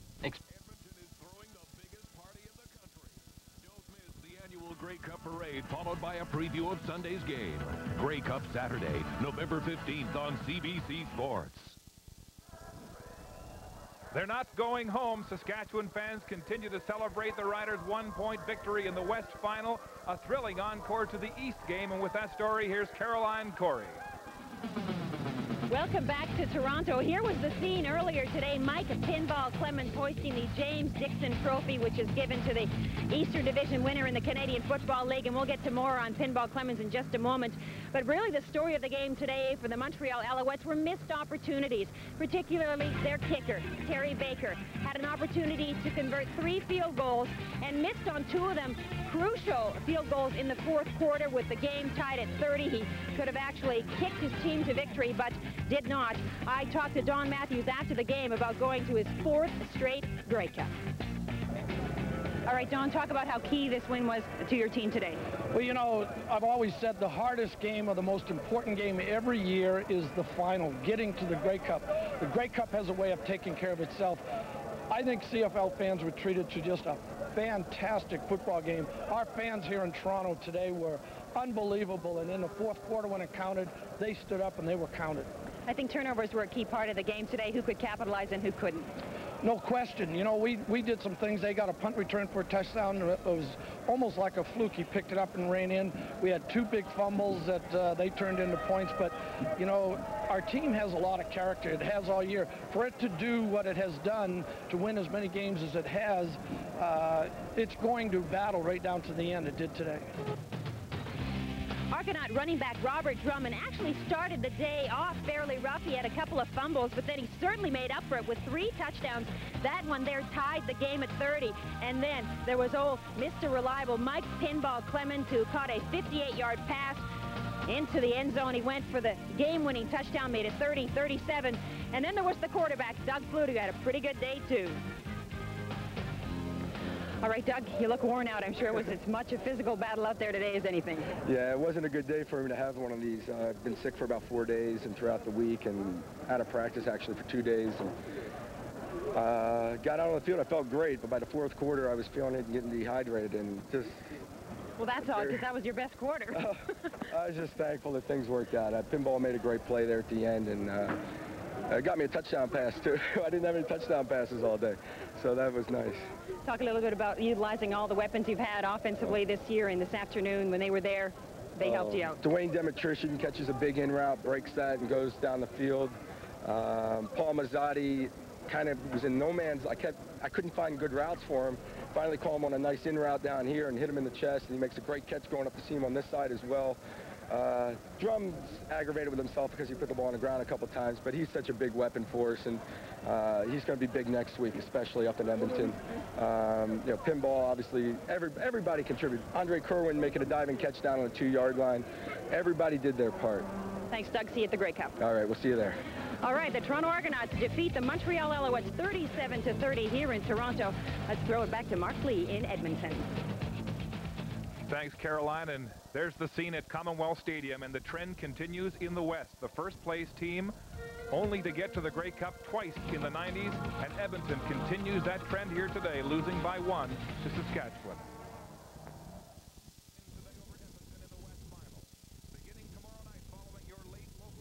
We will kick off our Grey Cup Classics, beginning with the 1962 Fog Bowl all five games will be played after your late local news. Then it's Grey Cup Saturday at 4 Eastern, the Grey Cup Parade, followed by our football forecast. Then countdown to kickoff beginning Sunday at 4 Eastern with your host Brian Williams, a one-hour pregame show leading to the Grey Cup itself. It's Saskatchewan versus Toronto. So long from Edmonton.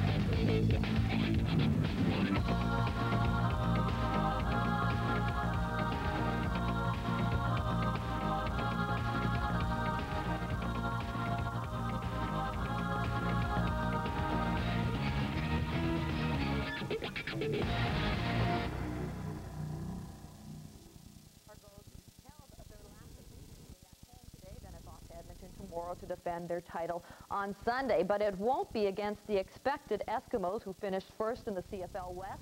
Instead, Saskatchewan will carry the West colors against our Eastern champs. Great Poster boy for Wendy's. Wendy's chili. Wendy's is good, but he likes soup. You have good soup. Winning the Eastern Final yesterday means it's time to play to the camera today. I really like soup. Got up and ran. How bitter would you be? One last get-together at Argos headquarters, and it's off to Edmonton in the morning to take on the Saskatchewan Roughriders Sunday in the Grey Cup. Well, I'm glad we're packing to go to Edmonton rather than packing to go home, and that's uh, it's it's just a very comforting feeling to know we're, we're moving on, and, and now it's time to get ready to play the Grey Cup game, and uh, it's Saskatchewan, so time to prepare for that. The Argos may have lost only three times this season, but one of those losses was to Saskatchewan. Still, as they get set to head out west for the Grey Cup, that fact isn't worrying them one bit, especially with number 31 on their side. Moody in the shotgun. It was just yesterday with time running out and the Eastern Division Championship game tied 30-30. Number 31, Mike Pinball Clemons, hauls in a 58-yard touchdown pass from Doug Flutie with 40 seconds left on the clock. That pushes the Argos past Montreal 37-30 to win the CFL East Final and a trip to the Grey Cup. Well, one of the most popular athletes in Toronto just enhanced his popularity with that 58-yard touchdown. Let's just get the ball in the field goal range is what I was thinking. Get it out of our end, first of all, to get it out of danger of them scoring. And then uh, once we got it out in good position, we started to get aggressive and get down there. And first time, boom, pinball breaks the tackle and goes all the way. And I, it was one of the most emotional wins I've ever been involved in. I, I just, I was ready to go to tears when I saw pinball in the end zone. Uh, I was just happy he's, on our side, that we're on the same team. It's been a, just a pleasure playing with pinball for the last two years, and um, it's, it's just typical of him to stand up and make those kind of plays in those situations. Next up, Saskatchewan Sunday in a Grey Cup matchup that's being billed as a David and Goliath confrontation that favors the mighty Argos. Saskatchewan is a team that really worries us. You know, they, they beat us earlier in the year, you know, for our, for our first loss, you know, but uh, we just have to go out there and play Toronto Argonaut football, like do the, play the football that we've been playing all year long, you know, and the rest will take care of itself. Everyone says on paper that we are the best team in the CFL, you know, we feel that way, but we feel when we go out there and we perform as a team and as a unit, there's no one that can stop us. The Argos are counting on it and hoping to repeat as Grey Cup champs. The last time Toronto did that was 50 years ago. In closing, the struggling Raptors face a team on the rebound. Right, Ladies and gentlemen, I do some uh, some impressions. Do you guys like impressions? Do you like that? Okay, good. I, I do some impressions with a leaf blower, and uh, it's not what you're thinking, sir. Um, these are some impressions you can do in your own garage, so so you won't get caught by the cops. It's good. So here we go. Use your imagination. Very important. Number one, Superman.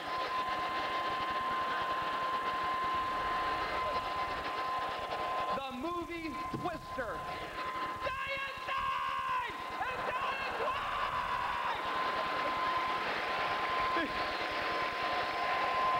Your dog out the car window.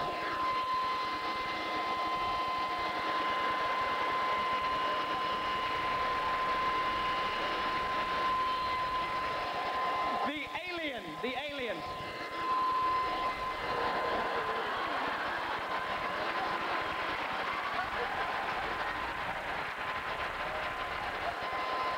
Okay.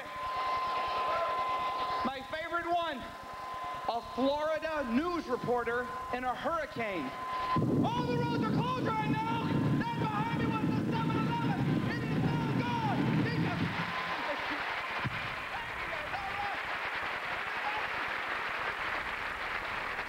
How many football fans are here? Let me hear you. Very cool. I'm going to take you live right now to a football game if you're ready. Are you ready?